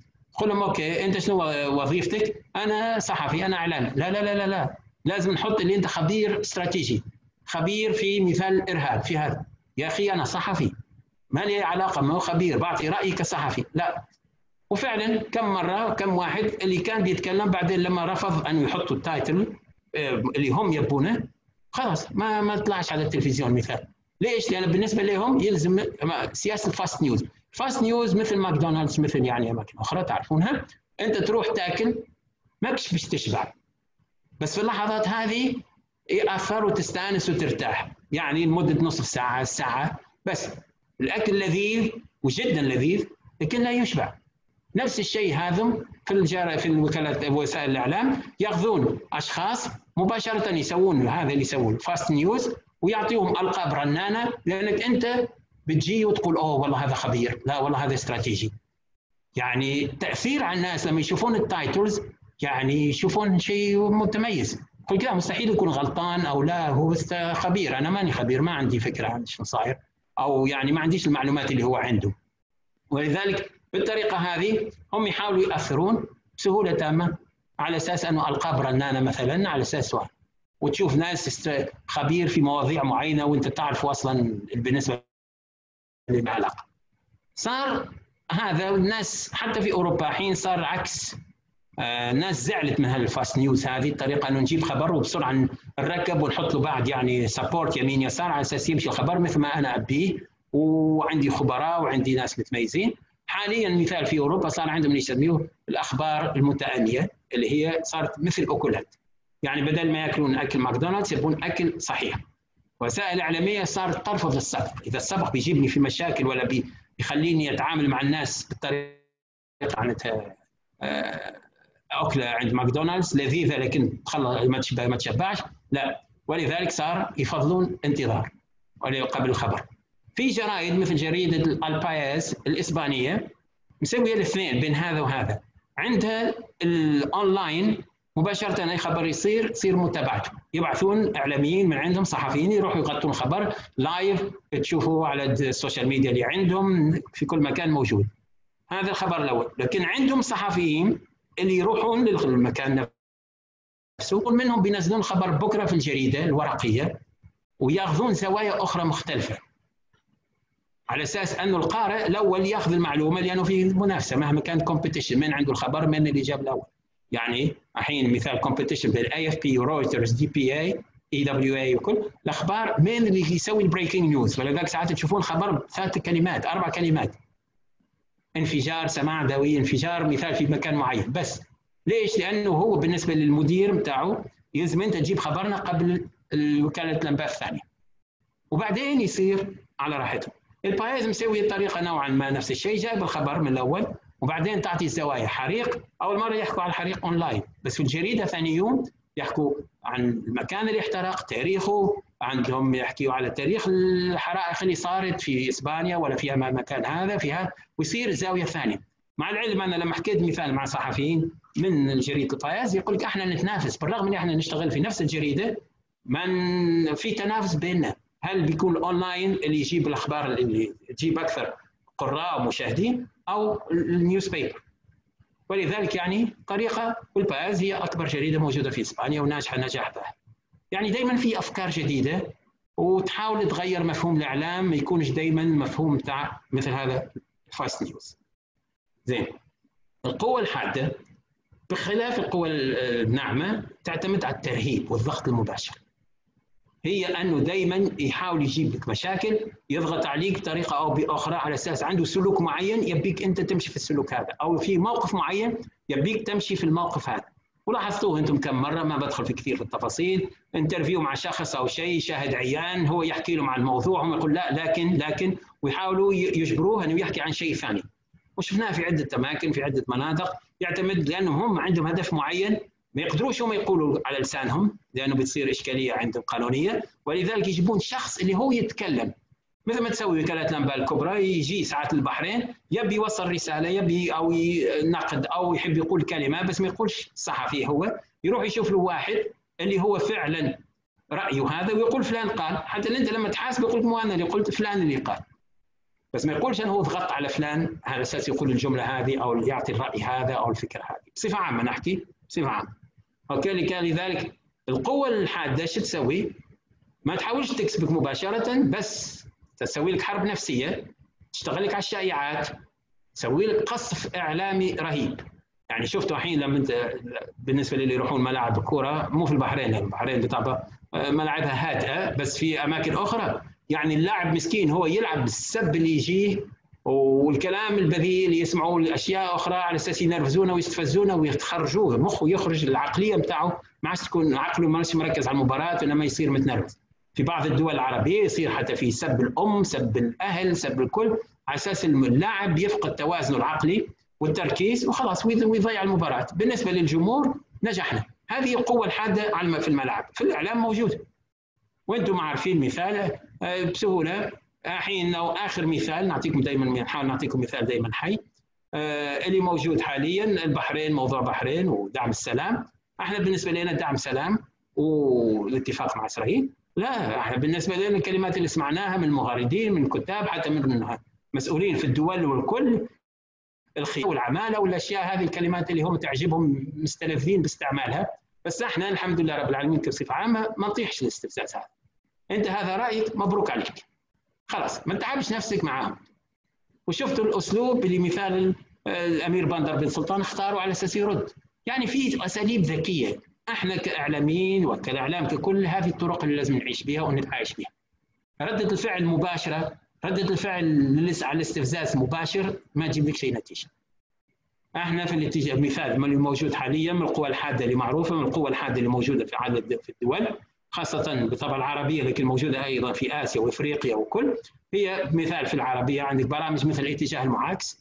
يعني يا خط معين تمشي فيه أو هذه يا بنسوي برنامج حلقة عنك أو عن بلدك أو عن شيء. هذه في المنظمات الدوليه يعني حاليا في تونس عندهم مشكلة. الناس تطالب بتنفيذ حكم الإعدام. ما تخليه لأنه من 20 سنه 18 آه سوري. تقريبا ثمانية سنوات وصارت جرائم مؤخرا والناس تطالب حكم الإعدام ومباشرة المنظمات اللي تسمي نفسها حقوقية الدوليه لا لا للإعدام ولا ولا يهمهم في دينك شو يقول ولا يهمهم في تفكيرك ولا يهمهم الشعب. تحكي عن ديمقراطية الشعب زين. الشعب يبي الإعدام. لا. ولذلك هنا وين تشوفوا هذه القوة الحادة تستغلها الاتجاه مثل برامج تلفزيونية أو منظمات دولية حتى في أحكام مثل الإعدام. هذه كل وسائل الضغط على الشخص. وفي بالطبع أساليب غير مباشرة اللي هي قوة شكليا نعم لكن هي حادة على أساس أنها تأثر عليك بالكامل. مثال بعطيكم صورة. الصورة هذه في سوريا. زوج وزوجته وابنهم ما في الشارع ماشيين أي مكان الله أعلم. مرة واحدة في جريدة ألمانية صاروا يمشون وسط الدمار. تلاحظوا عادي. ما في شيء وراهم بالعكس. في شجرة وأمور طيبة بس مرة واحدة خذوا الصورة وتحطت ونزلت في جريدة ألمانية وبالطبع أنت تصبح ضحية حرب. القوة هذه خلاتك أنت ضحية حرب. من غير بالطبع هذا ما نتصورش أنهم شافوا صورتهم في جريدة الألمانية هذا يعني الكابل هذا الزوج والزوجة مش والعائلة شافوا أنفسهم. ولذلك إشكالية تصير عودة. ليش؟ لأن آه، أسلوب الصحيفة أنه يبي يبين أنه سوريا مثال أو أي مكان. هذا سوريا بس ممكن يكون أي مكان يكون فيه دمار يكون فيه أي شيء. والعنوان بالطبع يزيد يأثر العنوان هذا بالألماني يقول يحكي عن أم المعارك. السطر الثاني اللي تحت هذا يعني أم المعارك. بالرغم اللي هم ما لهم أي علاقة لا في عرك ولا في أي شيء. فطبعا الإشاعات وكل هذه كيف تتعامل معها؟ أنت تحاول تصمت أكثر ما يمكن. وأهم شيء إذا أنت تحب تتبع أي موضوع لازم تتأكد هل هو إشاعة خبر والكل. أو يعني هل هو إشاعة أو خبر أو صحيح أو صورة صحيحة. لذلك لازم تتأكد منها. ولذلك أنه اللي نسميه إحنا في الإعلام الدبلوماسية القهرية. انه يقهرك أنت تتعامل معاه انك آه تخلي تهدي الأمور. القهر هذا متاعك وأعوذ بالله من قهر الرجال. ما تخليش القهر هذا يخليه يأثر عليك. تعرف كيف تتصرف. لذلك تصمت وتتأكد من الصورة تتأكد من الإشاعة وفي حالة شك إذا أنت شفت صورة أو شفت خبر أو أنك سمعت إشاعة أنت تتصرف أنك آه، بطريقة ذكية. مثال حاليا في أماكن موجودة في على الإنترنت اللي يخليك تفهم هل تعرف هل الصورة هذه أصل الصورة معرفة الأصل بتاعها أصبح سهل. ودائما أنت لازم تتأكد منها. تأخذ الصورة تحطها في برامج معينة ويقول لك الصورة هذه قديمة وجديدة وكله. بنشوف بعض الأمثلة أو كل ولذلك يعني بدل ما تكون رده الفعل بتاعك سب وشتيم وزعلان وتطلع من البيت وهذه وكلها تشوف الصورة هذه وتحاول تتصرف معها. يعني في صور واضحة. يعني الصورة هذه نزلت في صحف. منهم صحف عربية وكبيرة شهيرة. يعني بسهولة أي واحد يقدر يتأكد. بس مو كل الصور نقدر نتأكد منها. زكريا how do I go step by step? This should do أوكي الصورة هذه شفتوها. طلعت برا في كل مكان صورة من فيضانات السودان. لكن بعد اكتشفنا وشوف أنه هذا مثال أن الصورة أبلغ من الكلام السودان بطبع في الإنستغرام والأمور كل يعني كانت واضحة بالنسبة للناس. هذه في السودان وبطبع الكلام والناس تاثرت بعدين تكتشف أن الصورة هذه ما لها أي علاقة معناتها وبالطبع هذه من الجماعه اللي كانوا اللهم الطف بأهلنا في السودان وبالطبع الله يلطف بهم وهذه الصورة وصارت في كاريكاتيور كيف تصير. والكل والناس ليش؟ لأنه الشخص اللي حطها حب يأثر طريقة على الناس ويصيروا يتعاطفون مع السودان.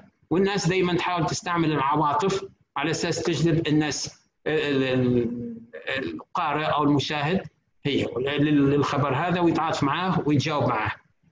okay؟ لكن الصورة اكتشفنا بعد. أنها ملتقطة في هايتي عام 1007 ولا علاقة لها بالفيضانات في السودان. نفس الشيء هذه. الصورة بعد اللي تشوفونها على يميننا. قلوبنا مع شقائنا في السودان وكل لكن في الواقع الصورة كانت في الهند سنة 2013 هذه صورة هذه نزلت صور لحقائب مهاجرين سوريين قضوا غرقا في البحر. وصور الشنط هذه بتاع أولاد صغار ماشيين مع أهليهم وماتوا وهذه الإشكالية اللي كانت موجودة. لكن بعد تشيك وتشوف أنها لا كانت معرض هذه مهاجرين أصلا من المكسيك لأمريكا في ولاية أريزونا وخذوا الحقائب اللي كانوا جايين بها وحاطينها كمعرض على أساس لأنه في مدرسة سوت المعرض مدرسة في نيويورك سوت المعرض هذا. لكن في مين حب يستغل الصورة هذه الأصلية؟ توظيف سياسي بالطبع آه، الحروب الصراعات واستغلال الأطفال والحيوانات وكل التأثير على العقلية. في هذا فيديو لسوء الحظ إحنا الحين ما نقدرش نبين لأن الفيديو مو شغال. video not working anyway فيديو أكيد شفتوه أنتم. أنه في شركة في مصر قالت أنها سوت فيديو سوت فبركة مظاهرة وبعثتها شبكة الجزيرة الإخبارية واللي هي بعد وزعتها وتوزعت الكل وبعدين قالوا أنها كانت آه، مفبركة بالطبع. وموجودة في الإنترنت ممكن تدشوا وتشوفونها ما في شيء اشكال It's okay. No problem. أوكي alright زين الحين إحنا ما دام نحكي على القوة الناعمة والكل ليش ما نسألش أنفسنا كيف إحنا نتحول إلى قوة ناعمة؟ هل إحنا مطالبين أن نتحول إلى قوة ناعمة؟ وطبعا اللي فيكم يعرف في الرياضة ويتبع يعرف الصورة هذه صلاح وزوجته وبنته أوكي وبالطبع أنتم عارفين آه يعني مو بالضرورة ترى أنا نشجع صلاح محمد صلاح أو نشجع ليفربول لكن مثل ما أقول لكم هذا كل داخل في الجزء الإعلامي. آه، الإعلام أنه أي شخص فينا حتى لو هو رياضي ما له علاقة بالإعلام يعني محمد صلاح لكن أصبح مصدر أفكار وإلهام وحتى أكثر. ليش؟ محمد صلاح أصبح نموذج للقوى الناعمة. أول شيء تواجده في البطولة الإنجليزية أو الدوري الإنجليزي اللي هو عنده أكبر تغطية إعلامية في العالم. أوكي الرجل كلاعب وحقق إنجازات قوية. كإنسان تألق بالطبع تألق داخل الملعب وتألق خارج الملعب سلوك محترم وتواضع حسن أخلاق. وداش وانخرط في نشاط اجتماعي وخيري في مصر ضد المخدرات وضد هذه وحتى في بريطانيا. ولذلك صار حقق لنفسه ولمصر وللإسلام وللعرب بالطبع شهرة كبيرة قوية جدا. أنتم أكيد بعض منكم شاف الفيديو بتاع آه، انه فيه مشجعين من ليفربول صاروا يغنوا انه اذا عن صلاح ويشكرون فيه محمد صلاح والبعض منهم قائل في الاغنية هذه اذا سجل محمد صلاح المزيد من الاهداف فساصبح مسلما أيضا. وتشوفونها في, في الانترنت موجودة إذا تحبوا تشوفون هذه. يعني اللي سواه محمد صلاح كقوة ناعمة شيء مميز ومتميز. زين الحين أي واحد فينا مثال يحب يصير هو نفسه قوة ناعمة. كيف نتحول؟ أول شيء في طرق عدة طرق. في كتابة مقالات والتعليق في الصحف العالمية. ليش الصحف العالمية؟ لأنك لما تكتب محلي ما بتوصل نتيجه التفكير المحلي ما يوصلك للنتيجة. زين انه في محلي ابن أبناء البلد والكل بيستفيدون منك. بس أنت بعد في نفس الوقت بأنك تحب تكون قوة ناعمة لازم تتعامل مع الإعلام برا. وهني وين لازم تكون انت تكتب مقالات والتعليق أنا ساعات نسمع ناس يقولوا لي آه ليش الإعلام الخارجي ما سوى هذه؟ ليش ال NBC ما سوى؟ زين صح okay أنا بقول لك فرضا فرضا اللي أنت محق لكن أنت إيش سويت؟ سهل جدا انه واحد يقول ليش ما سوى ليش ما سوى لكن حاسب نفسك على الطريقة الإسلامية مثل ما أقول لكم كيس من حاسب نفسه أنت حاسب نفسك أنت إيش سويت؟ أنت إيش قدمت للبحرين برا؟ أنت شنو اللي سويته؟ البحرين عندها طلبة مثال برا كم طالب فيهم يكتب في الجرائد المحلية اللي برا هذا يكتب فيها عن البحرين؟ وما شاء الله الإنجازات الموجودة والنجاحات الموجودة في البحرين عديدة ومتعددة. كم واحد كم طالب كتب؟ وحتى لو كتب يعني ليش ما ليش ما يكون علاقات نفسه ويكتب؟ السفراء يقدروا يسووا نفس الشيء بالطبع السفراء اللي معينين في الدول بالطبع هم عندهم نظام معين ملتزمين فيه لكن في نفس الوقت في مقالات ممكن تنزل. يعني الاتفاق الأخير هذا بتاع بين البحرين وإسرائيل يعني كان يقدر يحصل رواج أكبر لو في ناس متطوعين أكثر أنه يكتبون. في نفس الوقت قبل ما نصير هذه قوانا إعلامية معناتها أو قوى بين لازم جماعتنا إحنا ككل ناس كمثال هنا البحرين أو العرب ككل أنه يبني علاقات صداقة مع مختلف المؤسسات العلمية ومراكز الأبحاث اللي برا يعني الشغل اللي مسويه الحين آه، الشيخ عبد الله بن أحمد في دراسات شيء مميز لأنه مو بس شغله دراسات وخلاص سوينا دراسات.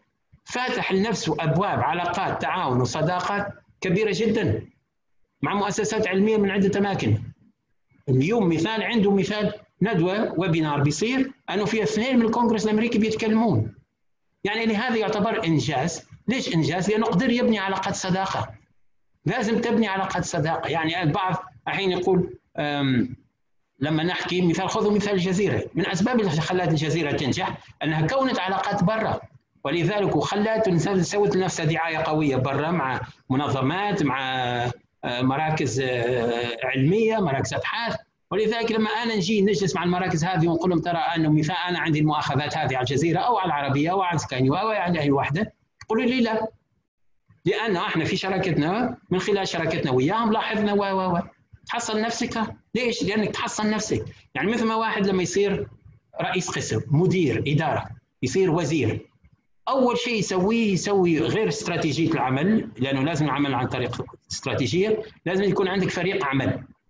وفريق عمل مثل ما بنشوف بعد شوي لازم يكون فريق عمل اللي هو ناجح وناجع مو بس فريق عمل يكونوا بس أسماء سوريه أو أسماء أصحاب وكل هذا لا لازم فريق عمل اللي بيساعدك.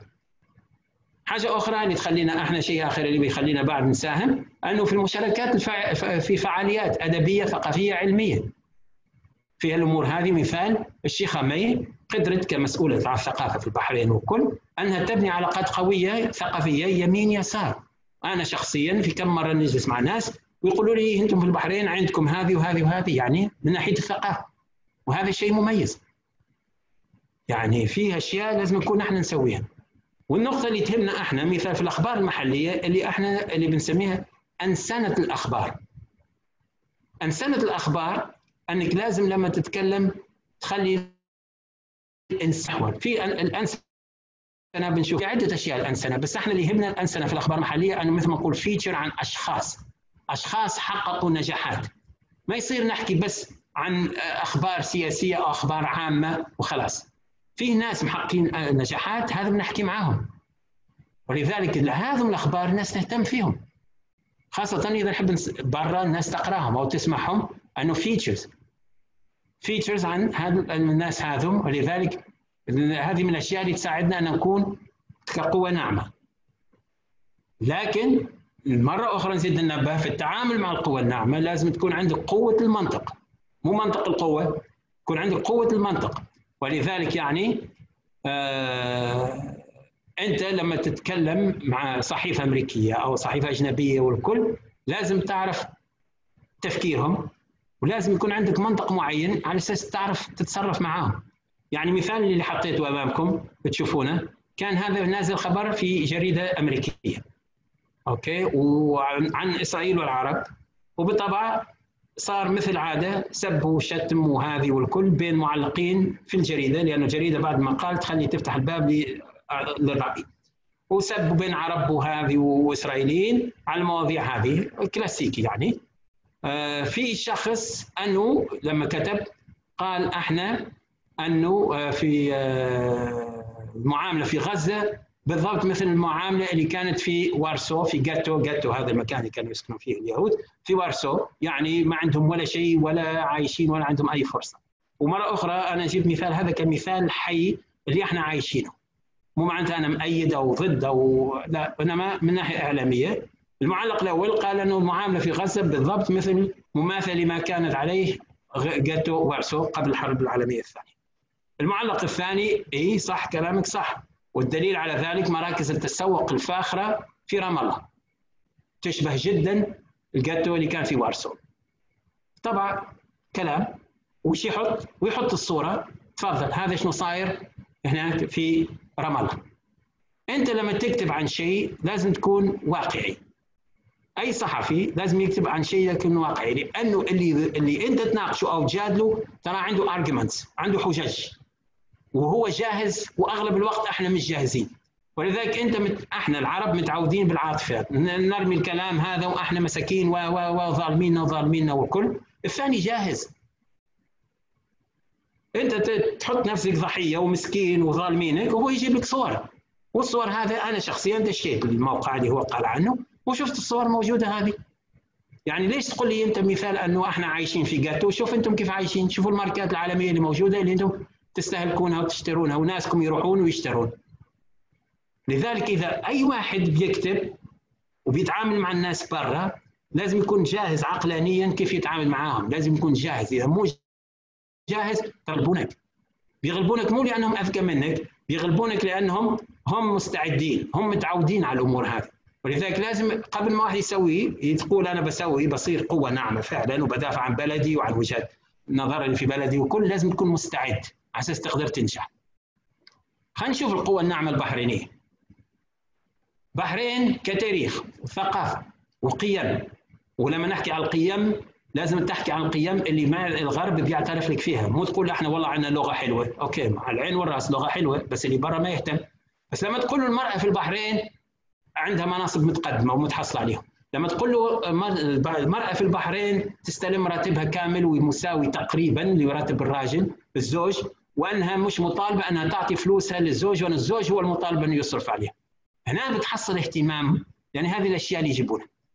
البحرين مثال من مقومات البحرين القوية كقوة ناعمة هي التعايش السلمي والحريات الدينية اللي موجودة. السياسات الداخلية الخارجية اللي ما فيهاش أنه معناتها آه، تهجم على الثانيين وكله ولذلك يعني أنت عندك مقومات مقومات الدول الكبيرة اللي هي التاريخ والثقافة والقيم والسياسة الداخلية والخارجية تقدر تستغلها تقدر تحكي عنهم.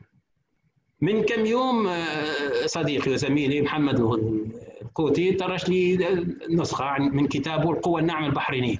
الكتاب هذا تو طلع يستعرض بإيجاز مقومات مملكه البحرين التاريخية والتراثية والاجتماعية اللي ممكن في المجمل نقول أنها قوة ناعمة بحرينية. يعني مجهود ممتاز. يخلي الإنسان يتعلم. بس يا ريت كان بعد في نفس الشيء الكتاب هذا بعد مدة يصير بلغات أخرى. على أساس محمد أو غير محمد أي واحد يقدر يتواصل مع الغرب يقدر يتواصل. أنك تجيد العربية ممتاز. أنك تتكلم بالإنجليزي أوكي بس مو كافي. أمس وأنا طالع من الشغل وحاطط البي بي سي نسمع في حوار.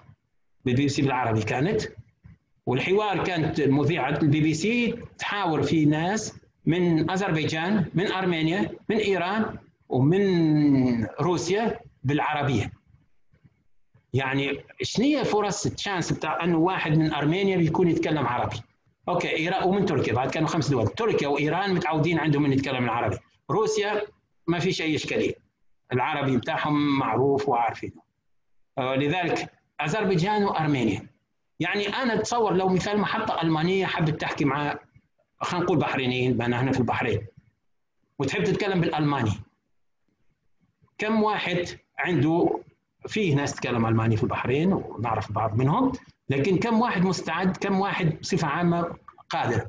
لو مثال بالروسي فيه يتكلم بالروسي لذلك بس نبي أكثر ناس يتكلمون لغات في البحرين. ناس تتكلم بالعبري ناس تتكلم بالفارسي ناس تتكلم اللي معناتها ممكن هم يدافعون عن وجهة نظر البحرين باللغة اللي هم فاهمينها. ما يصير نتكلم كان بس بالإنجليزي يمكن الثاني إنجليزي بتاعته ضعيفة الإنجليزية. ولذلك لازم نأخذ احتياطات. لذلك لازم تكون في مهارات لغوية إذا أنت تحب تدش في موضوع القوى الناعمة ويلزم تدش كلنا في موضوع القوى الناعمة البحرينية. لازم تكون عندك معلومات ولازم تقدر تقدمها بلغة آه إن الناس تناسبهم. يعني أنا أعطيكم مثال نحكي مع صحفي أمريكي من زمان آه يحكي لي كيف أنه أنور السادات لما اكتشف أنه يقدر يتكلم عن المحطات الأمريكية بالإنجليزي راح زاد دروس آه زاد تعلم أخذ دروس في الانجليزي على أساس يقدر يتكلم ABC News ذاك الوقت و CBS و NBC ما فيش CNN على أساس يقدر يكلم بالإنجليزي على أساس المذيع ما يترجمش كلماته ممكن يحرف الكلمات قصد سوء نية أو حسن نية لكن هو يكلم الشعب مباشرة وفعلا نجح فيها وحتى آه، ياسر عرفات بعدين عجبته الطريقة وسوى نفس الشيء قوى نفسه في الإنجليزي وأنا حاضر في interview من زمان تقريبا 40 سنة وكان يتكلم بالإنجليزي وفي نفس الشيء يعني تحس إنجليزيته تحسنت عن قبل يعني كنت أنا أسمعه. ليش؟ لأنه إذا تحب تكلم قوم كلمهم بكلمهم مباشرة باللغة اللي هم يفهمونها على أساس توصل مسج هني وين تكون القوة الناعمة بتاعك. لازم تكون تعرف كيف تستغل القوة الناعمة اللي موجودة عندك. والقوه الناعمة ساعات موجودة عندنا إحنا بس ممكن نحصلها عند غيرنا. في في القوه الناعمة البحرينية ممكن نستعين بصديقة هذه اللي قدامكم الحين جاكلين فرنانديز. هذه أصلا ممثلة هي من سريلانكا لكن تمثل في بوليوود ومشهورة في بوليوود. جاكلين هذه الأسبوع اللي فات كانت في البحرين. لسوء الحظ الفيديو مو شغال عندي بس ممكن تحصلوه أنتم في الانترنت. بالطبع هي كانت جاكلين عائلتها عايشة في البحرين. الأسبوع الماضي جات البحرين وراحت المدرسة اللي درست فيها Sacred Heart قلب المقدس. وسوت زيارة ونزلت في الستوري خبر زيارتها وصورة وفيديو والكل عن البحرين. تمدح والكل كأي واحد يزور مدرسته القديمة والكل مستانس الشيء المريح أنه جاكلين فرنانديز عندها أكثر من 45 مليون متابعة. لو نقول أنه مليون واحد 500 ألف شخص شافوا الفيديو هذه وكل already سامعين عن البحرين وشافوا ال secret heart وشافوا التسهيلات الموجودة في مدرسة في البحرين. ولذلك هذه جاكلين فرنانديز ممكن اللي تصبح قوة ناعمة للبحرين. إذا في فعاليات في البحرين ممكن هي تكون موجودة ومتواجدة وتتكلم. لأنه لما تحط post هي في الإنستغرام أو في التوي في تويتر أو شيء يعني شوفوا عدد الناس اللي بيشوفونها ويقرونها وهذا يصير investment هذه القوة الناعمة اللي إحنا نقدر نتصرف فيها كقوة بحرينية من البحرينيين نفسهم أو من أصدقاء البحرين وأصدقاء البحرين ما شاء الله عددهم كبير ترى. كبير وكبير جدا. زين. نمشي المحور اللي بعد هي أنسنة الإعلام والنزعة الإنسانية. طبعا النزعة الإنسانية أنتم تسمعوا كلمة أنسنة بالطبع البعض يعرفها ما شاء الله وكل لكن في البعض اللي اللي بالنسبة للأنسنة هي تركز على الإنسان. فيه عندها نظرة فلسفية نظرة اقتصادية كل أنا اللي يهمني هنا هو النظرة الإعلامية اللي إحنا بنشتغل بها أنها الأنسنة هي تنبع من فكر إنساني يؤمن بالإنسان. في الإعلام هو أنه تعطي الخبر صفة إنسانية. أنه فيه عندك الإنسان في الحدث مو بس حدث يصير فيه إنسان فيه بشر. أوكي؟ آه وهذا موجود في عدة أماكن. في إنجازات إنسانية مثال حتى في البحرين أنه في إنجازات صارت مثال على مستوى المدارس على مستوى الجامعات. بس ما نسمعش عنها. ليش؟ لأنه المدارس هذه والجامعات هذه ما قامتش بدورها المطلوب منها مطلوب منها اعلاميا انها توزع المعلومة. صورة خبر والكل ساعات يجيك خبر صغير أنها فلانة قدمت بحث في هذه. بس وانتهينا. أكثر. في أكثر. زين إذا ما تقدرش تقدمه اعلاميا يصير مثال معرض سنوي. حتى لو يتحط اونلاين هذه البحوث اللي صارت السنة هذه واللي خذوا عليهم ماجستير أو دكتوراه وكل وهذه المواضيع اللي كانت موجودة. يعني المكتبة اللي هي موجودة في الجامعة ممكن تطلعها برا أونلاين. تخلي الناس تعرف أنا شنو الأفكار الجديدة؟ لأنه اللي سوى اللي يدرس بالنسبة للماجستير أو الدكتوراه بصفة عامة يسوي بحوث ودراسات قوية ومتعمقة. ولذلك إحنا نستغلها اعلاميا على أساس الإعلام نفسه يصبح يركز على الجانب الإنساني. ترى الجانب الإنساني مهم جدا. إشكالية مثال صارت في بعض الصحف هنا في البحرين اهتمت بالجانب الإنساني. وصاروا خاصة الصحف للامانه وراحوا وفي الجرائد بعض تشوف قصص في بعض القرى هذه القرية الفلانية ويخصوا مثال قالوا أسبوعي أو صفحة فيتشر كاملة فيتشر صفحة كاملة عن قرية معينة. لكن الاشكاليه إنه لما يكون التركيز على القصص العاطفي على قصص أنه الحرمان أنه بس نحتاج عندنا مشاكل نبي حلها صح هذا موجود وواجب واجب ان نهتم فيه ناس عايشين في القرية هذه وحققوا إنجازات. أعطيني ناس اللي يصبحوا بالنسبة لنا إحنا الرول موديل اللي إحنا هذا نقدر نتابع مثالهم ونتعلم منهم اللي يعطونا أفكار جديدة. الانسنه أنه لازم نهتم بالإنسان ونرفع شأنه فوق. مو بس نحكي عنه بس مجرد رقم مثل ما بنشوف الحين. في الانسنه يعني شوفوا مثال الإعلام يصبح سجين قوالب اللي تشوفوا صورته هذا الشاعر الفلسطيني المعروف محمود درويش. محمود درويش من أهم الشعراء العرب فلسطيني وارتبط الشعر بتاعه بالشعر الثوري. الثورة والثورة وأنتم عارفين عدة آه، قصائد وكلها عن الثورة.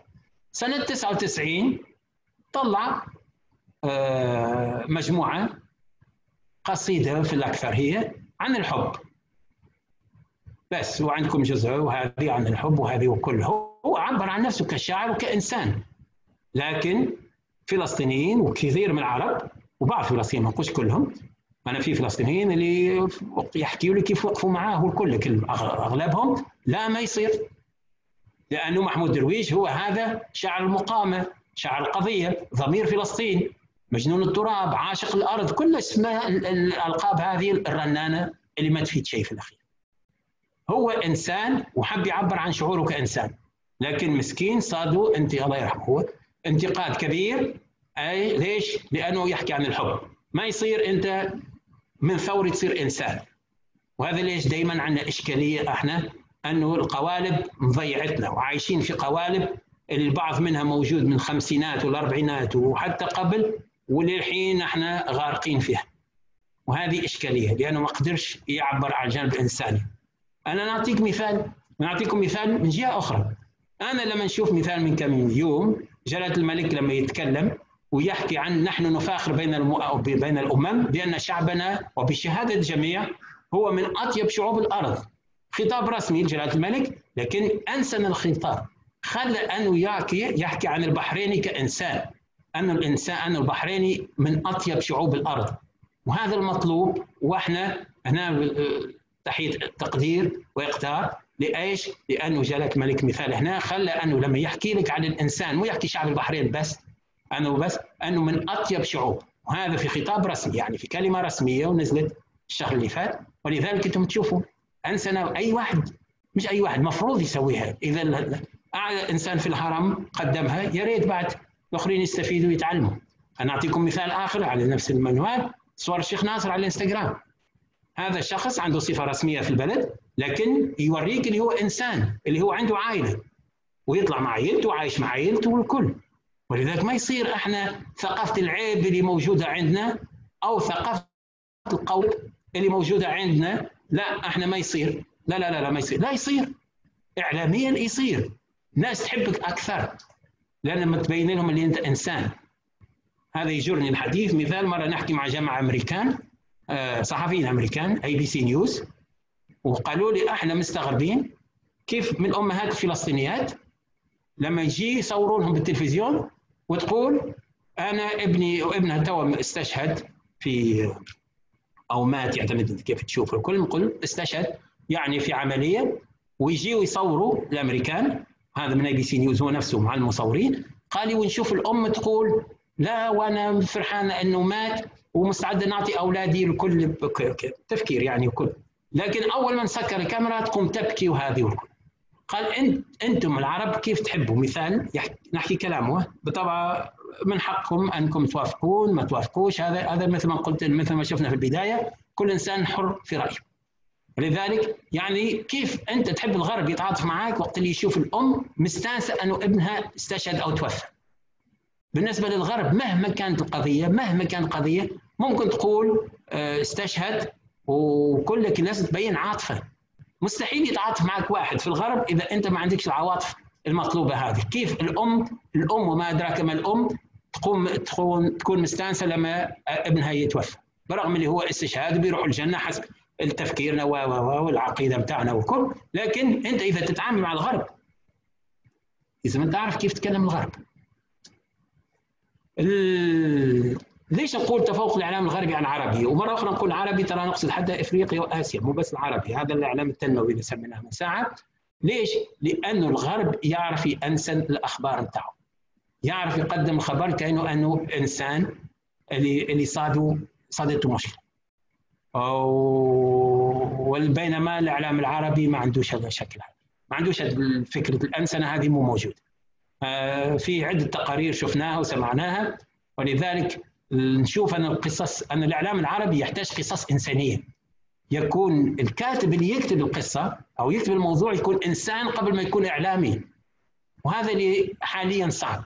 موجود شوي في ال social media بس إعلام تاعنا كرسميات ولا حتى إعلام ال mainstream media وكل الإعلام التقليدي. الحين مو قادرين يخلوا الصحفي إنساني. وهذه إنسان. وهذه إشكالية اللي لازم تتعدل.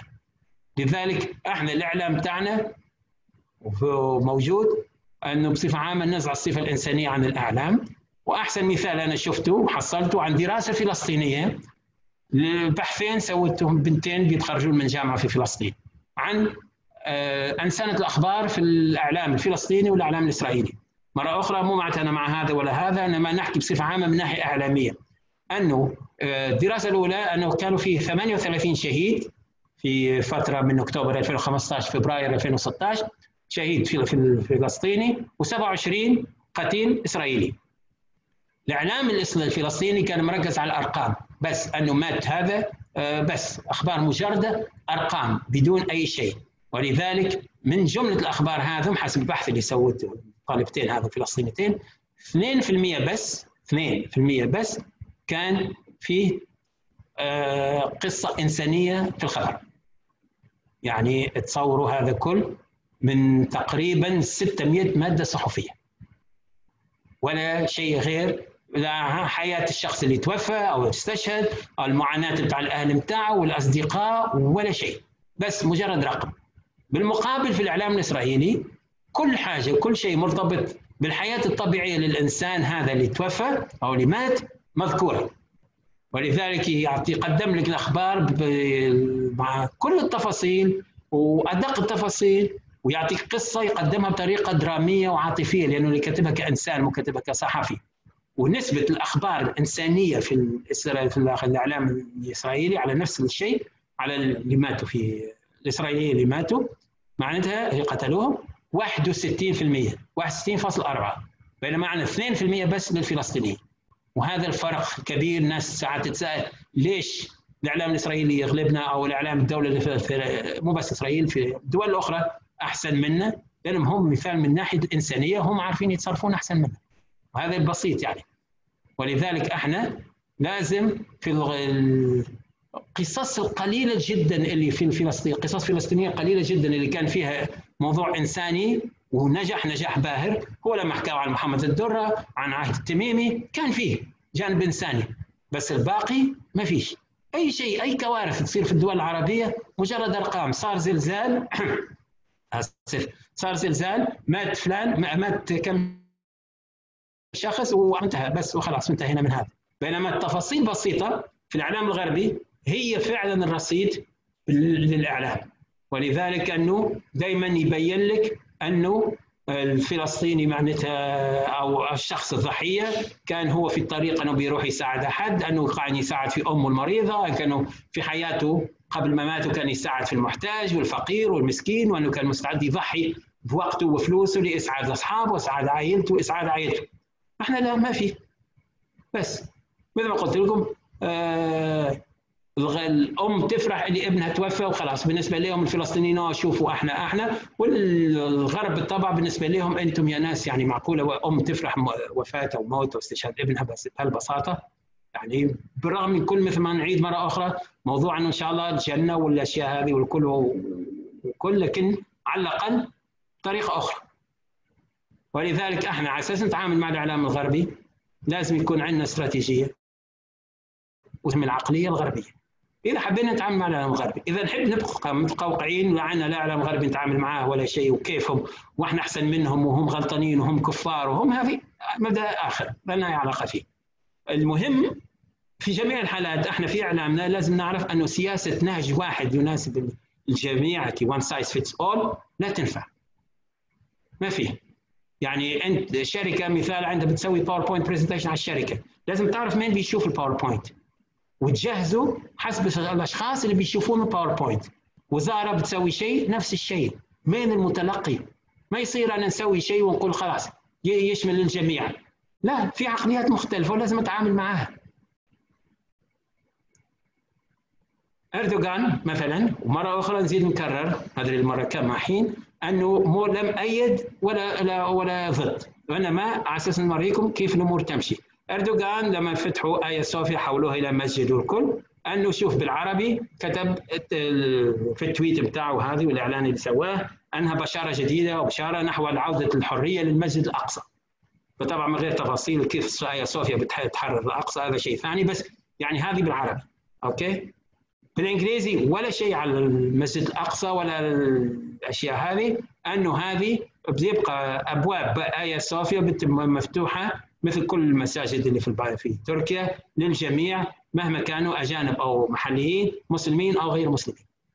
يعني لما كانت خاطب العرب والمسلمين بلغة ولما خاطب نفس الشيء نفس الحدث نفس كل شيء. لما خاطب الغرب بالإنجليزي كانت فكرة أخرى وأسلوب آخر.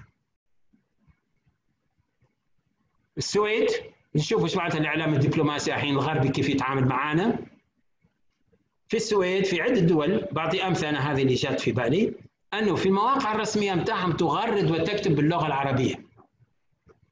وساعات حتى إذا يلزم مش نحكي على موقع السويد بس مواقع أخرى تستشهد بآيات قرآنية تقدم التهاني. وعندها متابعين كثار عددهم كبير. يعني هذا اللي شايفينه السايت. عنده مثل ما تلاحظون 435 ألف متابعة. تكتب بالعربي. إحنا مثل ما نرجع الكيس محاسبة نفسه. كم عندنا دول عربية؟ تويتس وإنستغرام وكل اللي يتكلم الدول اللي هم فيها السفارات آه، باللغة البلد اللي هم فيه. okay؟ مثال هذه السويد. okay؟ هذه اليابان. اليابان بالعربي. موجودين. ولذلك يعني وبالنسبة لليابان هذا 394 ألف متابع. 394 okay؟ الكلام تاعهم واضح. إحنا مبادرة للتعريف باليابان باللغة العربية من قلب طوكيو لتصبح اليابان أقرب إليكم. أوكي. في آخر مرة آخر مثال في اللي شفناه معكم. شفتوا اللي صار في واشنطن على التوقيع على آه، آه، السلام بين إيران بين البحرين وإسرائيل والإمارات بالطبع حاضرين. الخطابات كانت رسمية بالطبع. لكن نظرا لأن الإعلام الإسرائيلي عنده ادج يعني متفوق علينا في بعض الأشياء منهم هذه. الكلمة بتاع نتنياهو كان فيها جانب حد دخل فيها لازم دخل فيها جانب إنساني.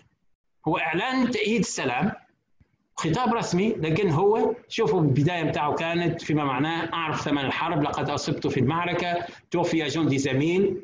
يعني ما له أي علاقة بالموضوع بس هو يخليه يكون عنده علاقة. أوكي بين ذراعي فقد أخي يوني يوني حياته بينما كان يقود إلى اخره إلى هذه من كلام نتنياهو في حفل توقيع إعلان تأييد السلام في البيت الأبيض. يعني دائما جانب إنساني. ليش؟ لأنه يعرف الغرب أنه يتعاطف على الأشياء هذه. وهذا هو كادمه باللغة اللي هو يفهمها أو يحبذها أوكي. نمشي الحين آه إن شاء الله بعجالة شوي. للتعامل مع الإعلام. التعامل مع الإعلام في محور آخر هو كيف نتعامل في المؤتمر الصحفي أو المقابلة الشخصية. هذه أشياء أكيد شفتوها وقريتوها وسمعتوها والبعض منكم عاشها أصلا. راح تكلم في التلفزيون أو حضر في مؤتمر صحفي أو تكلم مع الإعلام والكل. لذلك بنسويها بشوية بالسريع بس في أي وقت بالطبع الأسئلة ما في شيء إشكالي. أوكي. أول شيء بالطبع اللي بيروح لازم يكون مستعد استعداد كامل للتعامل مع وسائل الإعلام من ناحية المحتوى من ناحية المظهر الخارجي ومن ناحية الاستعداد للأسئلة. لأنه في كثير من الأسئلة المباغته إيش الأسئلة المباغته يعني هي أسئلة أنت ما تفكر فيها. أنت يجيك واحد مثال أنت مثل أنا الحين موجود هنا في وزارة الإعلام. يجيني واحد ويقول لي ليش ما فيش ولا مذيع أسمر في تلفزيون البحرين؟ يقدم النشر. مثلا شنو بيكون جوابي؟ أنا عارف الجواب طبعا بس يعني أنا حاضر وشايف أنه في صارت اختبارات أكثر من 500 واحد شخص على أساس يدشون كمذيعين. بس في القليل منهم كان يقدر ينجح يعني يسون حظ. ومعناتها كان مستواهم ضعيف لكن مستواهم غير مناسب للوظيفة اللي موجودة هنا. وفي الأخير دشوا ناس أخرين. بس مو معنى تختاروهم لأنه هذا أبيض أو لأنه هذا مش أسمر أو هذا عيلة فلان وعيلة فلان. مثل ما تشوفونهم تقريبا ليلي لكن في أسئلة ساعات تجيك مباغتة من ناس من إعلاميين أو حتى من سفراء من مسؤولين لازم أنت تكون مستعد تعرفها فما بالك لما أنت تروح للإعلام على أساس أنت بتتكلم على الإدارة بتاعكم على الشركة بتاعكم على الوزارة بتاعكم على أي شيء كإعلامية.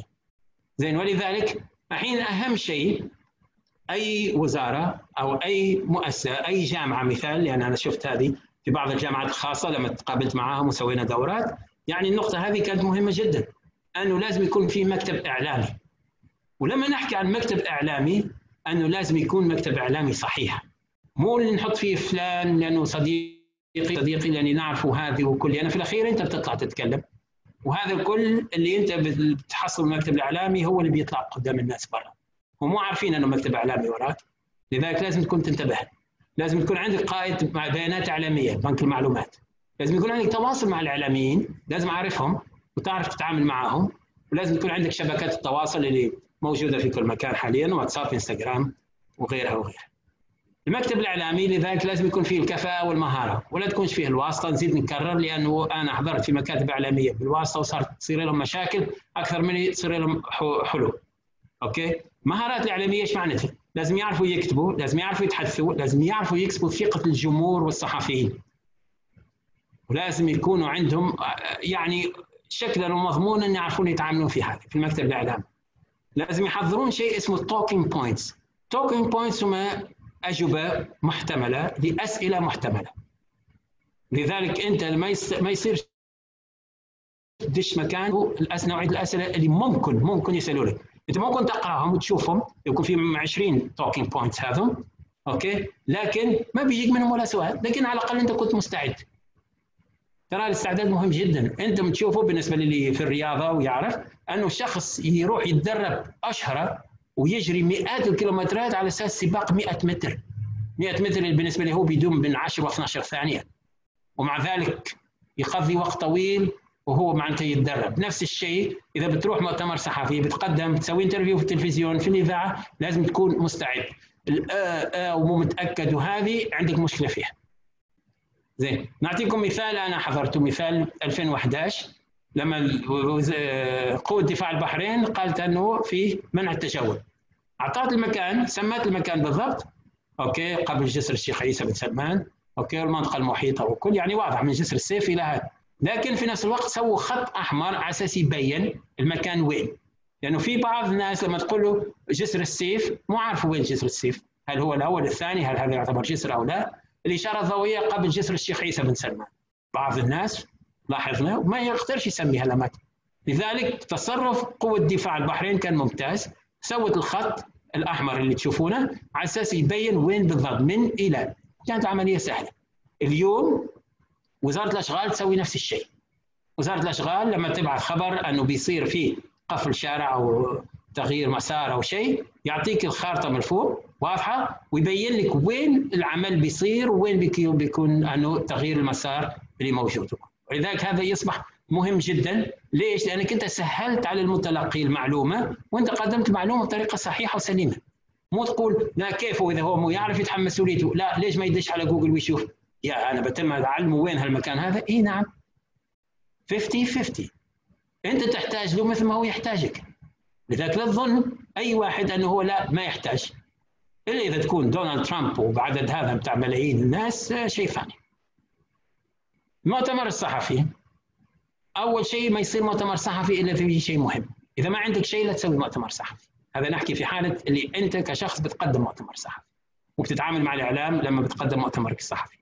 لازم تكون عندك أعداد كامل المتحدث أنه مقترح فيه أجوبة للأسئلة المتوقعة ولذلك لازم تكون مستعد. ترى مو كل الاعلاميين طيبين. في إعلاميين بيدور لك على إشكالية. نرجع أنا نحكي لكم مثال عن صديقي هذا توماس فريدمان.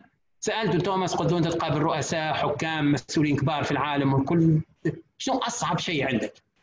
قال لي أصعب شيء لما نتعامل مع ناس اللي الهدف بتاعهم أنهم يفشلوني.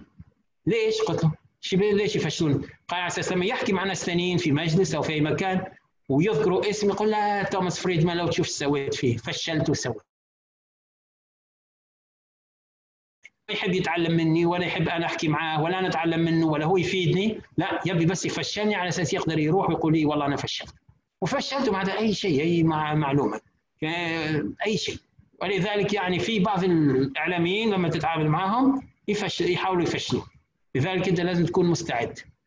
في نفس الوقت في مسؤولين وبعض ممثلين مشهورين حتى في الدول العربية لما يروحوا يسووا معهم انترفيو يكلم الاعلامي ويقول له لا الاسئله بتاعك بايخة هذه. روح اتعلم شلون تسأل أسئلة وتعال ارجع لي. يعني في سبحان الله.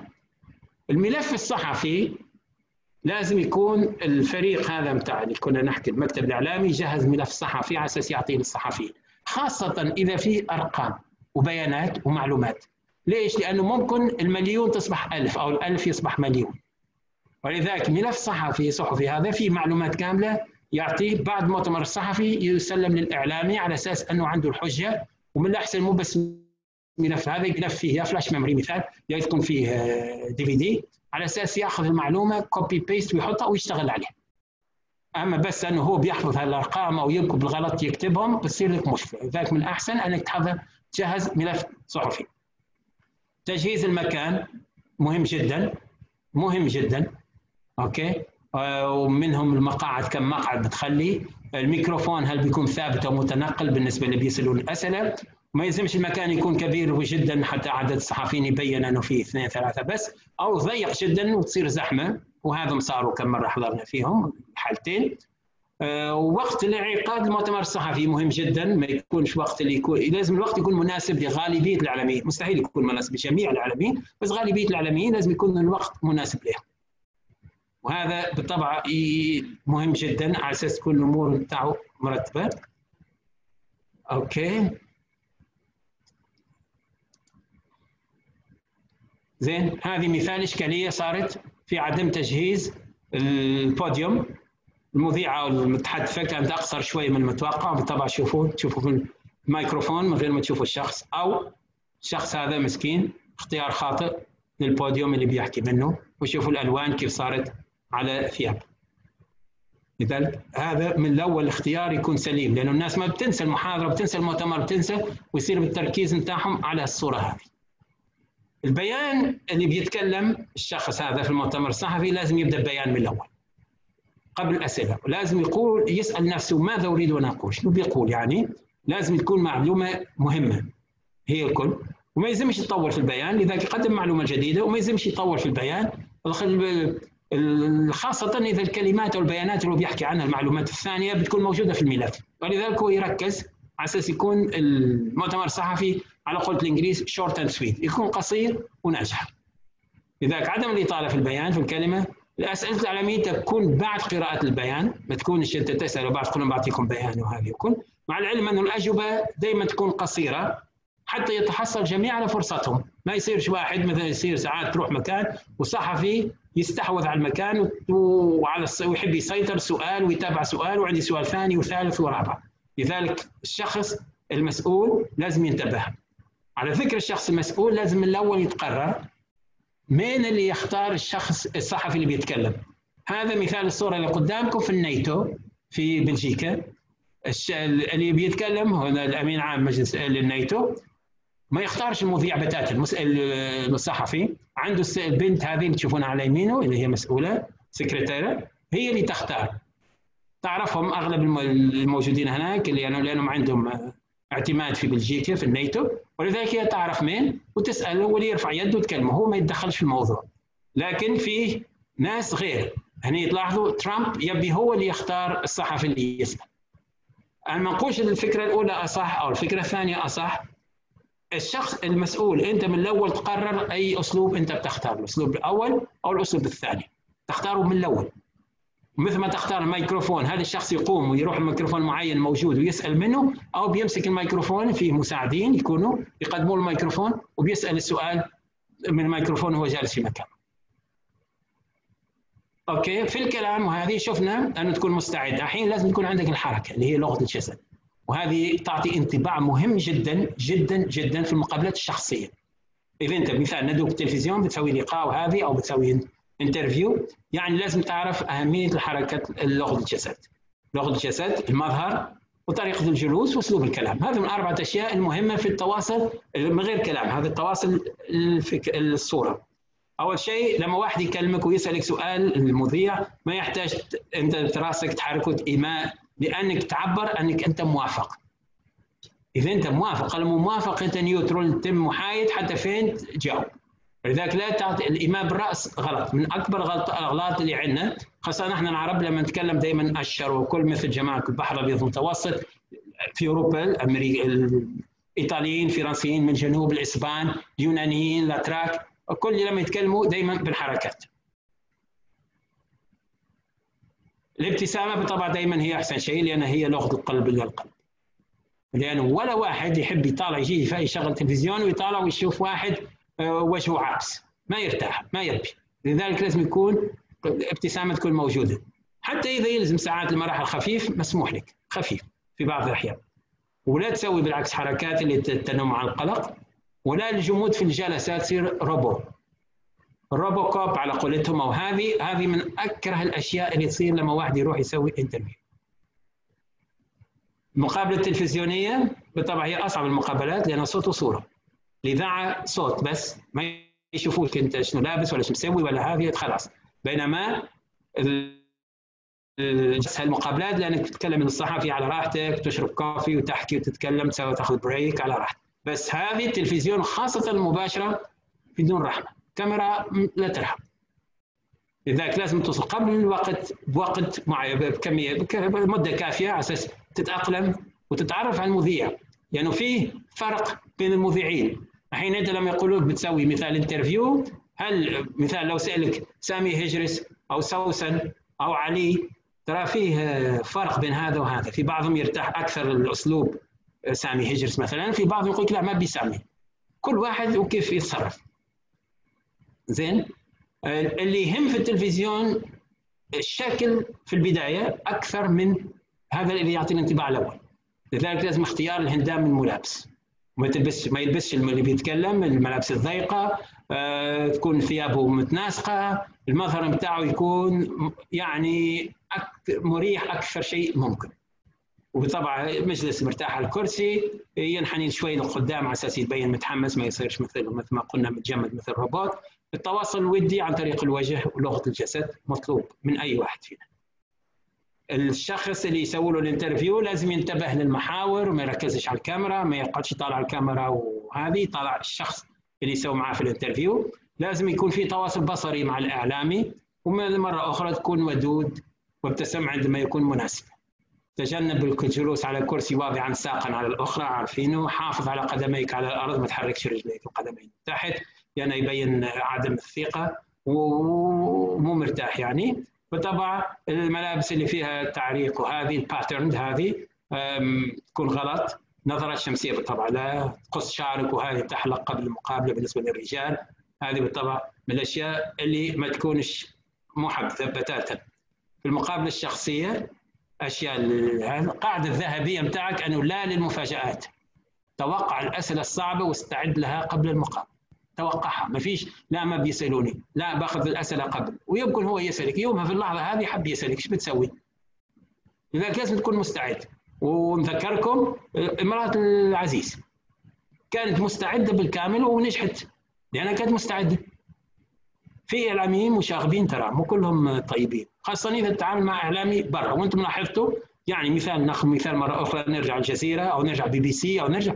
الأسئلة بتاعهم أنت تشوفها مشاغبة مشاكسة.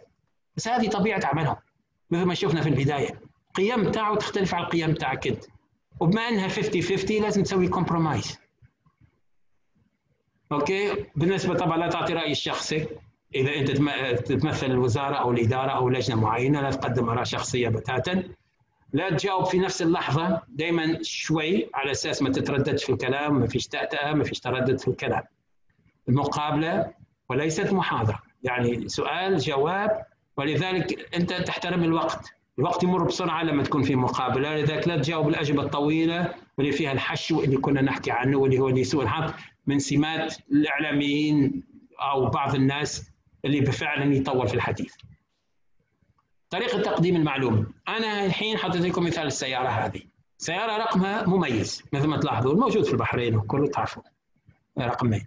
بس أنا بكل سهولة لما واحد يسألني كم رقم سيارتك ممكن نقدمه بطريقة يخليك أنت تتحمس تجاوب معي 1 2 3 1 2 3 بس ممكن إذا أنا ما نعرفش نتكلم نخرب. رقم سيارتي 12 3 1 23 123 في فرق لما أنا نكلمك نقول لك 1 2 3 ولا 1 2 3 وبين نقول لك مثال 12 3 هذا رقم سيارتي. ترى مهم جدا كيف تقدم. وهذا تلاحظوه مثال انتهى أنا لو نأخذ القرآن يعني وما أدراك ما القرآن. شوفوا نفس المعلومات ساعات بس يقدمها كل مرة بطريقة أخرى. ليش؟ لأنه آيات القرآن إعجاز. هذه معجزة. نفس الشيء في القصائد. يعني ممكن نصعد ليش أنا نألف في قصيدة على بنت الروح نقول لها أوكي أنا نحبك. أو نحبك بس وانتهينا. لا القصيدة يصبح اسلوب غير نفس الشيء ينطبق على الأغاني. نقدر معناتها ليش يغني نفس الشيء؟ يقدر الكلام يقوله. لا بس لما يغنيه موسيقى لحن يكون غير. نفس الشيء انت لما تتكلم في آه، مؤتمر صحفي أو في مقابلة شخصية وكل لما تقدم المعلومة بطريقة جذابة الناس تتفاعل معك. المذيع يتفاعل معك. لذلك مهم جدا أنك تعرف كيف تقدم المعلومة. هي نفس المعلومة مثل ما شفتوا رقم سيارة 1 2 3 بس أنا ممكن أقدمها بطرق مختلفة. من الأحسن نختار الطريقة اللي هي تكون أكثر واحدة مناسبه بالطبع أستعد لأنه هذه انه جميع الأسئلة متاحه خلال المؤتمر المقابله وهذه كلمة غير مقا... غير قابل للنشر.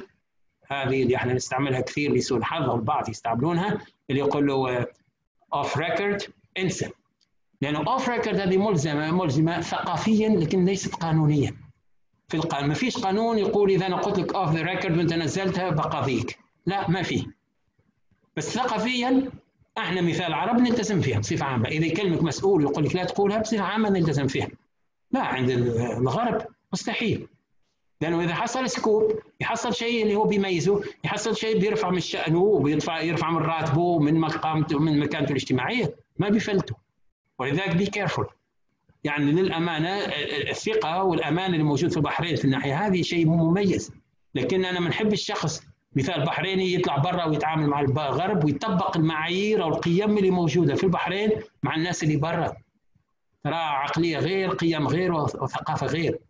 يعني نتذكر مثال جالس في غبقة مع كم وزير جالسين ونسولف وكل مواضيع يعني مواضيع. بس كلنا عارفين إنه ما حد بيتكلم خارج الإطار اللي إحنا جالسين فيه. بينما إذا يجي مع واحد غربي واحكي خلاص تفهقت تتورط. ولذلك هنا نرجع لمفهوم القيم والفرق بيننا وبين الغرب. هذه off the record مو موجودة. ننتبه لها. آه هذا مثال مذيع أمريكي اللي أنتم شايفينه. سألوه مرة سوى interview مع رئيس دولة وكان حاد في الأسئلة. قالوا له أنت ما خفتش؟ هذه في 60 Minutes ما أدري إذا اللي فيكم يعرف 60 Minutes هذا من أشهر برامج CBS News ومشهور برنامج عالميا وكل كل القياديين في العالم وكل الحكام الكبار الكبار لازم يمرون على 60 Minutes هذا سوى interview مع رئيس عربي وانتقده بصفة مباشرة. سألوه بعد هو يسالونه قالوا له أنت تقابلت مع الرئيس العربي هذا؟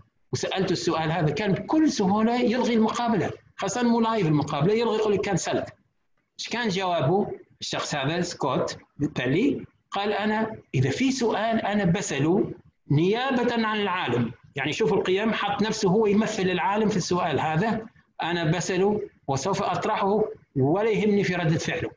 يعني إحنا لما نكلم شخص دائما نحترمه مهما كان هو رئيس دولة كثر خيرك اللي أنت جالس معايا وكل هذا من باب القيم. بس هو لا بالنسبة له هو لا. وفعلا وهذا الموجود لذلك we have to be careful نوعيه الأسئلة. الشخص اللي بنقابله من النوع اللي يحب يشاكسني ولا لا. so ننتبه للنقطة هذه. ولذلك المتحدث لما يتكلم بيكون دائما يبقي على نفس الموضوع ما يتبعش المراسلات. المراسل يحاول يسحبك أو يسحب الشخص لمواضيع أخرى. لذلك لا أنت لا تمشي. دائما ارجع للموضوع. دائما قل بنعود للنقطة الرئيسية. وقولها عادي يعني ما فيها شيء. وبالطبع الإجابة لازم تكون فيها إيجاز ما تكونش رسالة طويلة مثل ما حكينا. لذلك الشخص كتلخيص بصفة عامة لازم يكون ثقة بالنفس لازم يكون في احترام للاعلامي والاعلامي يحترمك. الجمل بسيطه لا تستعمل المصطلحات الصعبة.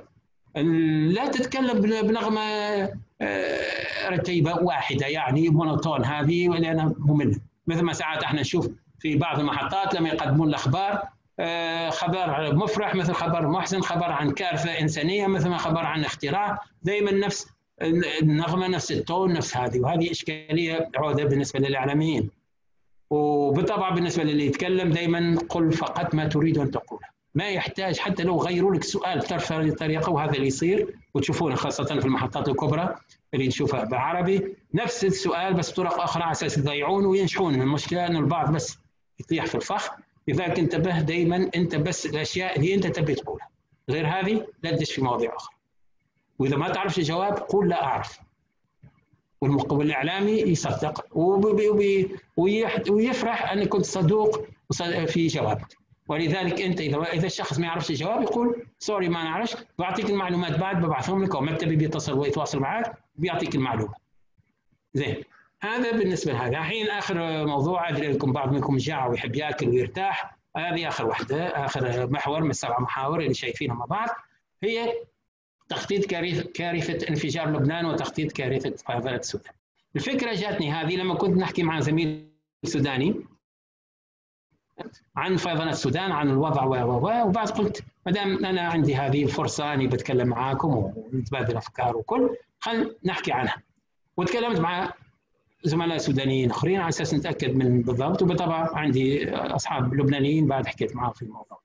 بصفة عامة المخبه هو أنه النقطة الأولى أنه في برا الناس من برا اللي مو سودانيين. للأمانة قالوا لي لا ما فيش تناقض لأنه هي أصلا عنصرية. هذا مبيض هذا مسود أو سمر هذه سودانيين. Anyway. والثاني بالطبع اللي يقول لي لا في نوع من الطائفية لأنه في هذا مسيحيين هذا ما فيش مسيحيين وأنتم عارفين القصة. بالطبع مثل العادة سمعت وخلاص. مش سمعنا وطعنا سمعنا ونسينا. أوكي؟ زين. أول شيء في الإطار السياسي للموضوع. الوضع الجيوستراتيجي لبنان ماضيا في السابق وحاضرا هي في قلب الصراعات والرهانات الدولية. السودان خلاص الحين صار في أنه سنوات طويلة سنوات طويلة وطويلة جدا هي مالت الانغاء نفسها بعيد عن الانفتاح مع دول العالم. السودان بعد فيها تصالح سياسي ما عندهمش إشكاليات كبرى موجودة بس ما فيش الصراعات الحزبيه اللي موجودة في لبنان. هذا في الإطار السياسي وأنا ما بركز على الإطار السياسي بس هذا للعلم بس ك background information وإطار الحدث بعد ما بنركز بنركز على الجانب الإعلامي اللي يهمنا إحنا في الجلسة مع بعض. إطار الحدث انه الفيضانات في السودان أمر عادي. okay ساعات أقوى من قبل مثل اللي صارت الشهر اللي طاف لكن بصفه عامه عادي.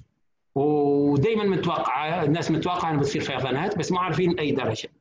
كميه الامطار اللي بتنزل قوية شوية ولا وهذه تمشي يعني المرة هذه 16 ولاية من 18 اللي تضررت بعد.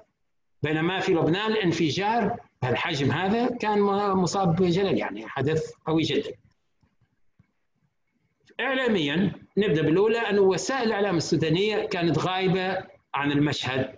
يعني غايبة مش مش موجودة لكن غايبة بمعنى أنه كان حضورها ضعيف. وخاصة في البدايه ضعيف يعني ما كانش في مراسلين ما عندهاش مراسلين وداتهم أرسلتهم مواقع الحدث. في شوية يعني ما نقولش ما فيش يعني الامانه بس كان قليل. ولذلك ما فيش آه، معظم معظم معظم الفضائيات في السودان استمرت في عرض برامجها مسلسلاتها الدراميه كان شيء لم يحدث. أوكي؟ معظمه فيه اللي خاص بس اغلبهم ولذلك في شوي من وسائل الإعلام السودانية نفسها اللي ما اهتمتش بالموضوع. وحتى لما اهتمت ما ركزتش مثل ما بتلاحظوا. الحين نربط هذا ليش؟ موضوع الأنسنة الإنسان وبنشوفه في فيضانات السودان حتى في الصور نادرا ما هو موجود okay هذه الردود آه، في كان نوع من البرود السياسي يعني راحوا زاروهم حكى معهم شوي بس وخلاص غياب كان تقريبا شبه تام للمكونات السياسية ومثل العاده اللي الشعب ينتظرون في ناس معينين والناس معينين هذا ينتظرون في ناس أخرين وكل واحد ينتظر في الثاني على أساس هو يتحرك وفي الأخير ما ما صارتش الحركة المطلوبة. والفيضانات اللي صارت في السودان من ناحية إعلامية ما عندهاش بعد إعلامي. ليش؟ لو مثال الفيضانات هذه كانت مرتبطة مباشرة بسد النهضه كان أو بتكون عندها تأثير على السد العالي. يعني قبل يا بعد كانوا بيهتمون فيها وتصير قصص درامية وفي من يشعل الموقف بين السودان وأثيوبيا بين السودان ومصر بين مصر وأثيوبيا ويستغلونها كل واحد.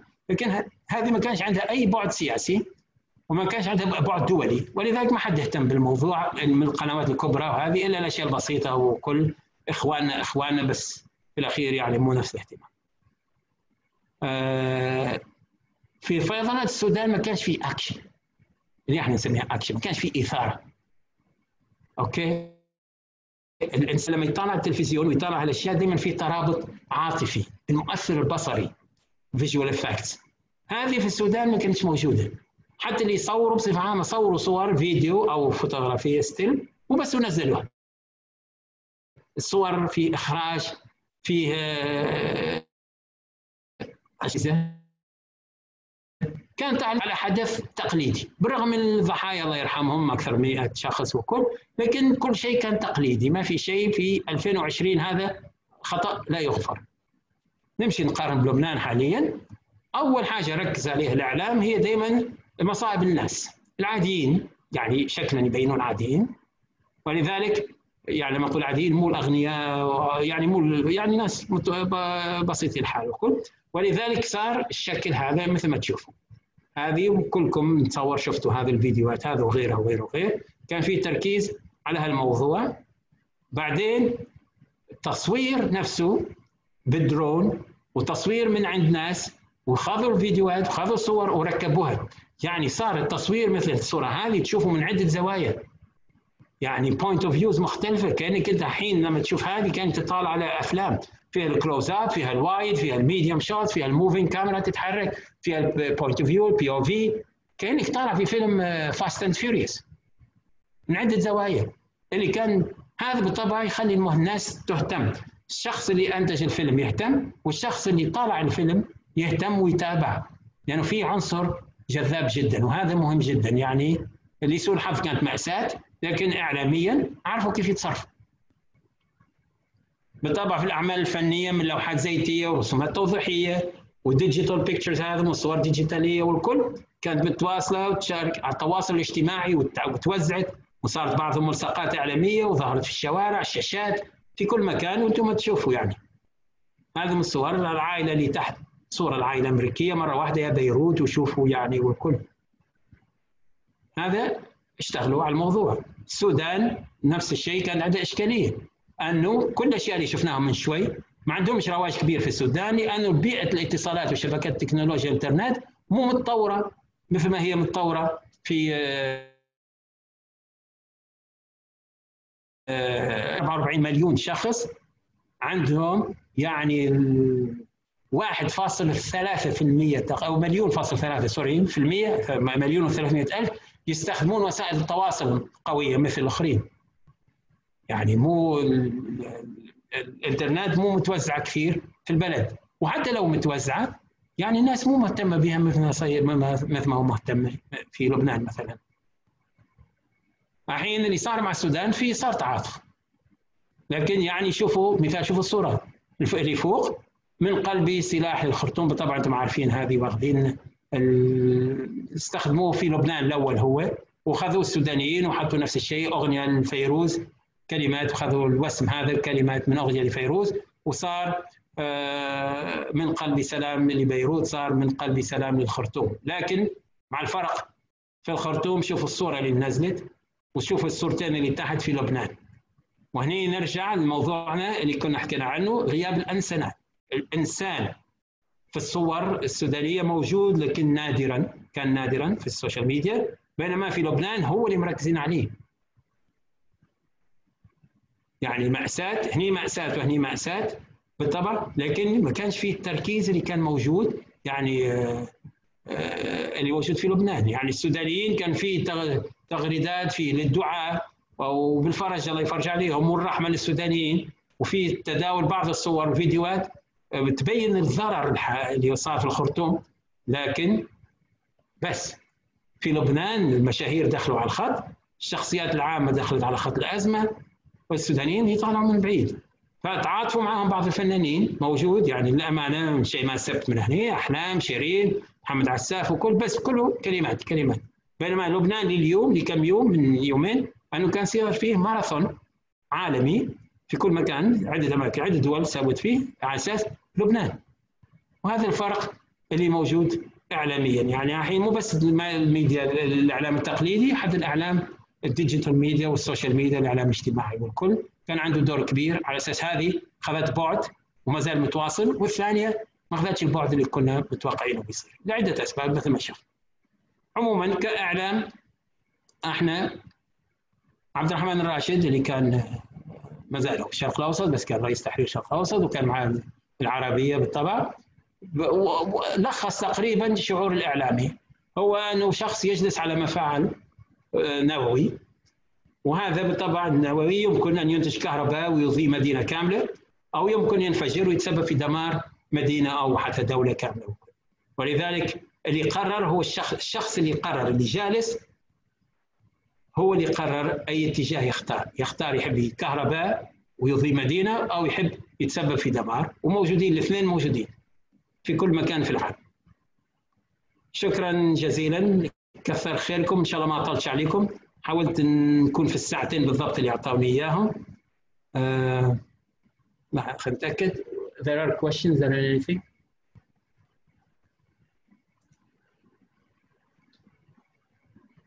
أوكي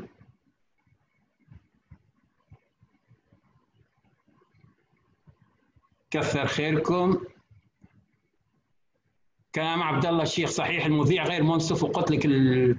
وقلت وزيد نكرر أن المذيع أنت تحتاط منه برغم أن يكون صديقك. أنا اليوم عندي علاقة قوية جدا مثال مع سوسن مع سامي مع الكل. لو يقولوا لي تعال بنسوي معك انترفيو برغم العلاقات وعلاقات قديمة يعني. جدا قديمة جدا لذلك لما يقولوا لي أي شيء قل لهم لحظة خلينا نجهز نفسي ليش؟ لأني عارف أنه في وقت من الأوقات هو دوره دوره كإعلامي متميز ومعروف على مستوى البحرين لازم يسلم عليك بطريقة خاصة. لذلك أنت لازم تكون مستعد. مهما كان حتى لو يكون صديق صديق بس هو عنده شغله يعني عبارة عن أنت تلعب في مباراة كرة قدم يعني ما تقولش لا والله أنا ملحد ونحب وعندي صديقي في محرق مثلا آه، ولذلك يعني خليه يفوز لأنه صديقي ما فيش عقلية هذه. العقلية أنا نازل مباراة أنا نازل على أساس أفوز. ليش؟ لأنه فيه ناس عاطين فيها الثقة من المدرب الأهلي للفريق نفسه عاطين فيها الثقة. ولذلك لازم أنا يكون مستوى الثقة هذه. مش لأنه هذا صديقي لا بعطيه المباراه وسلم فيه. نفس الشيء المذيع شغله على اساسه يبقى متميز. أنه لازم يسأل أسئلته ومن حقه.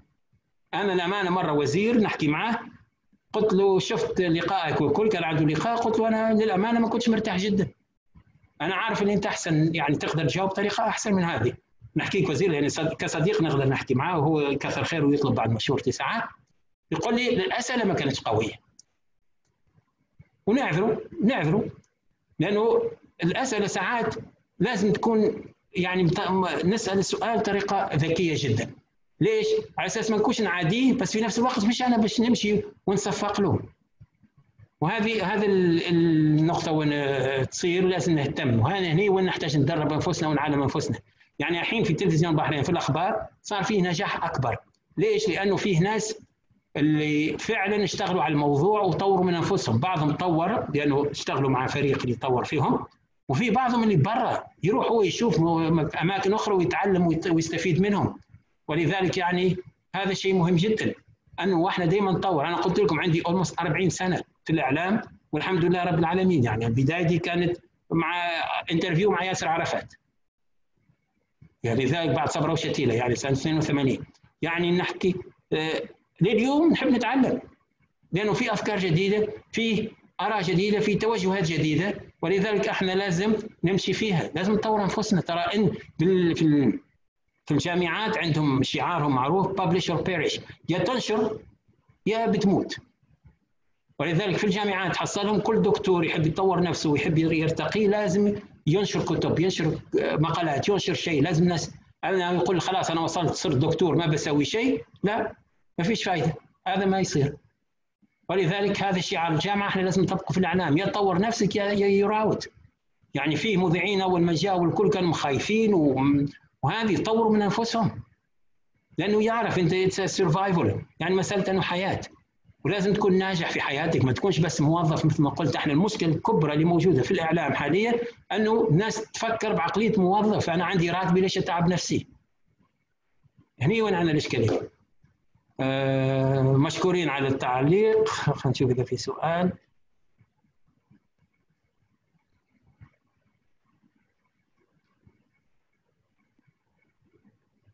كثر خيركم. يا غير منصف. أي أوكي. شكرا جزيلا وإن شاء الله في مناسبات أخرى. اللي فيكم بعد عنده أي استفسار أي شيء ترى موجود. ما عنديش أي إشكالية أنكم تتواصلون معي بالنسبة تتواصلون معي ما عنديش أي إشكالية في أي موضوع تبون. والله يوفقكم وإن شاء الله دائما تكون نكون إحنا كأعلاميين دائما فخورين بشغلنا وبنتائجنا. ومع السلامة.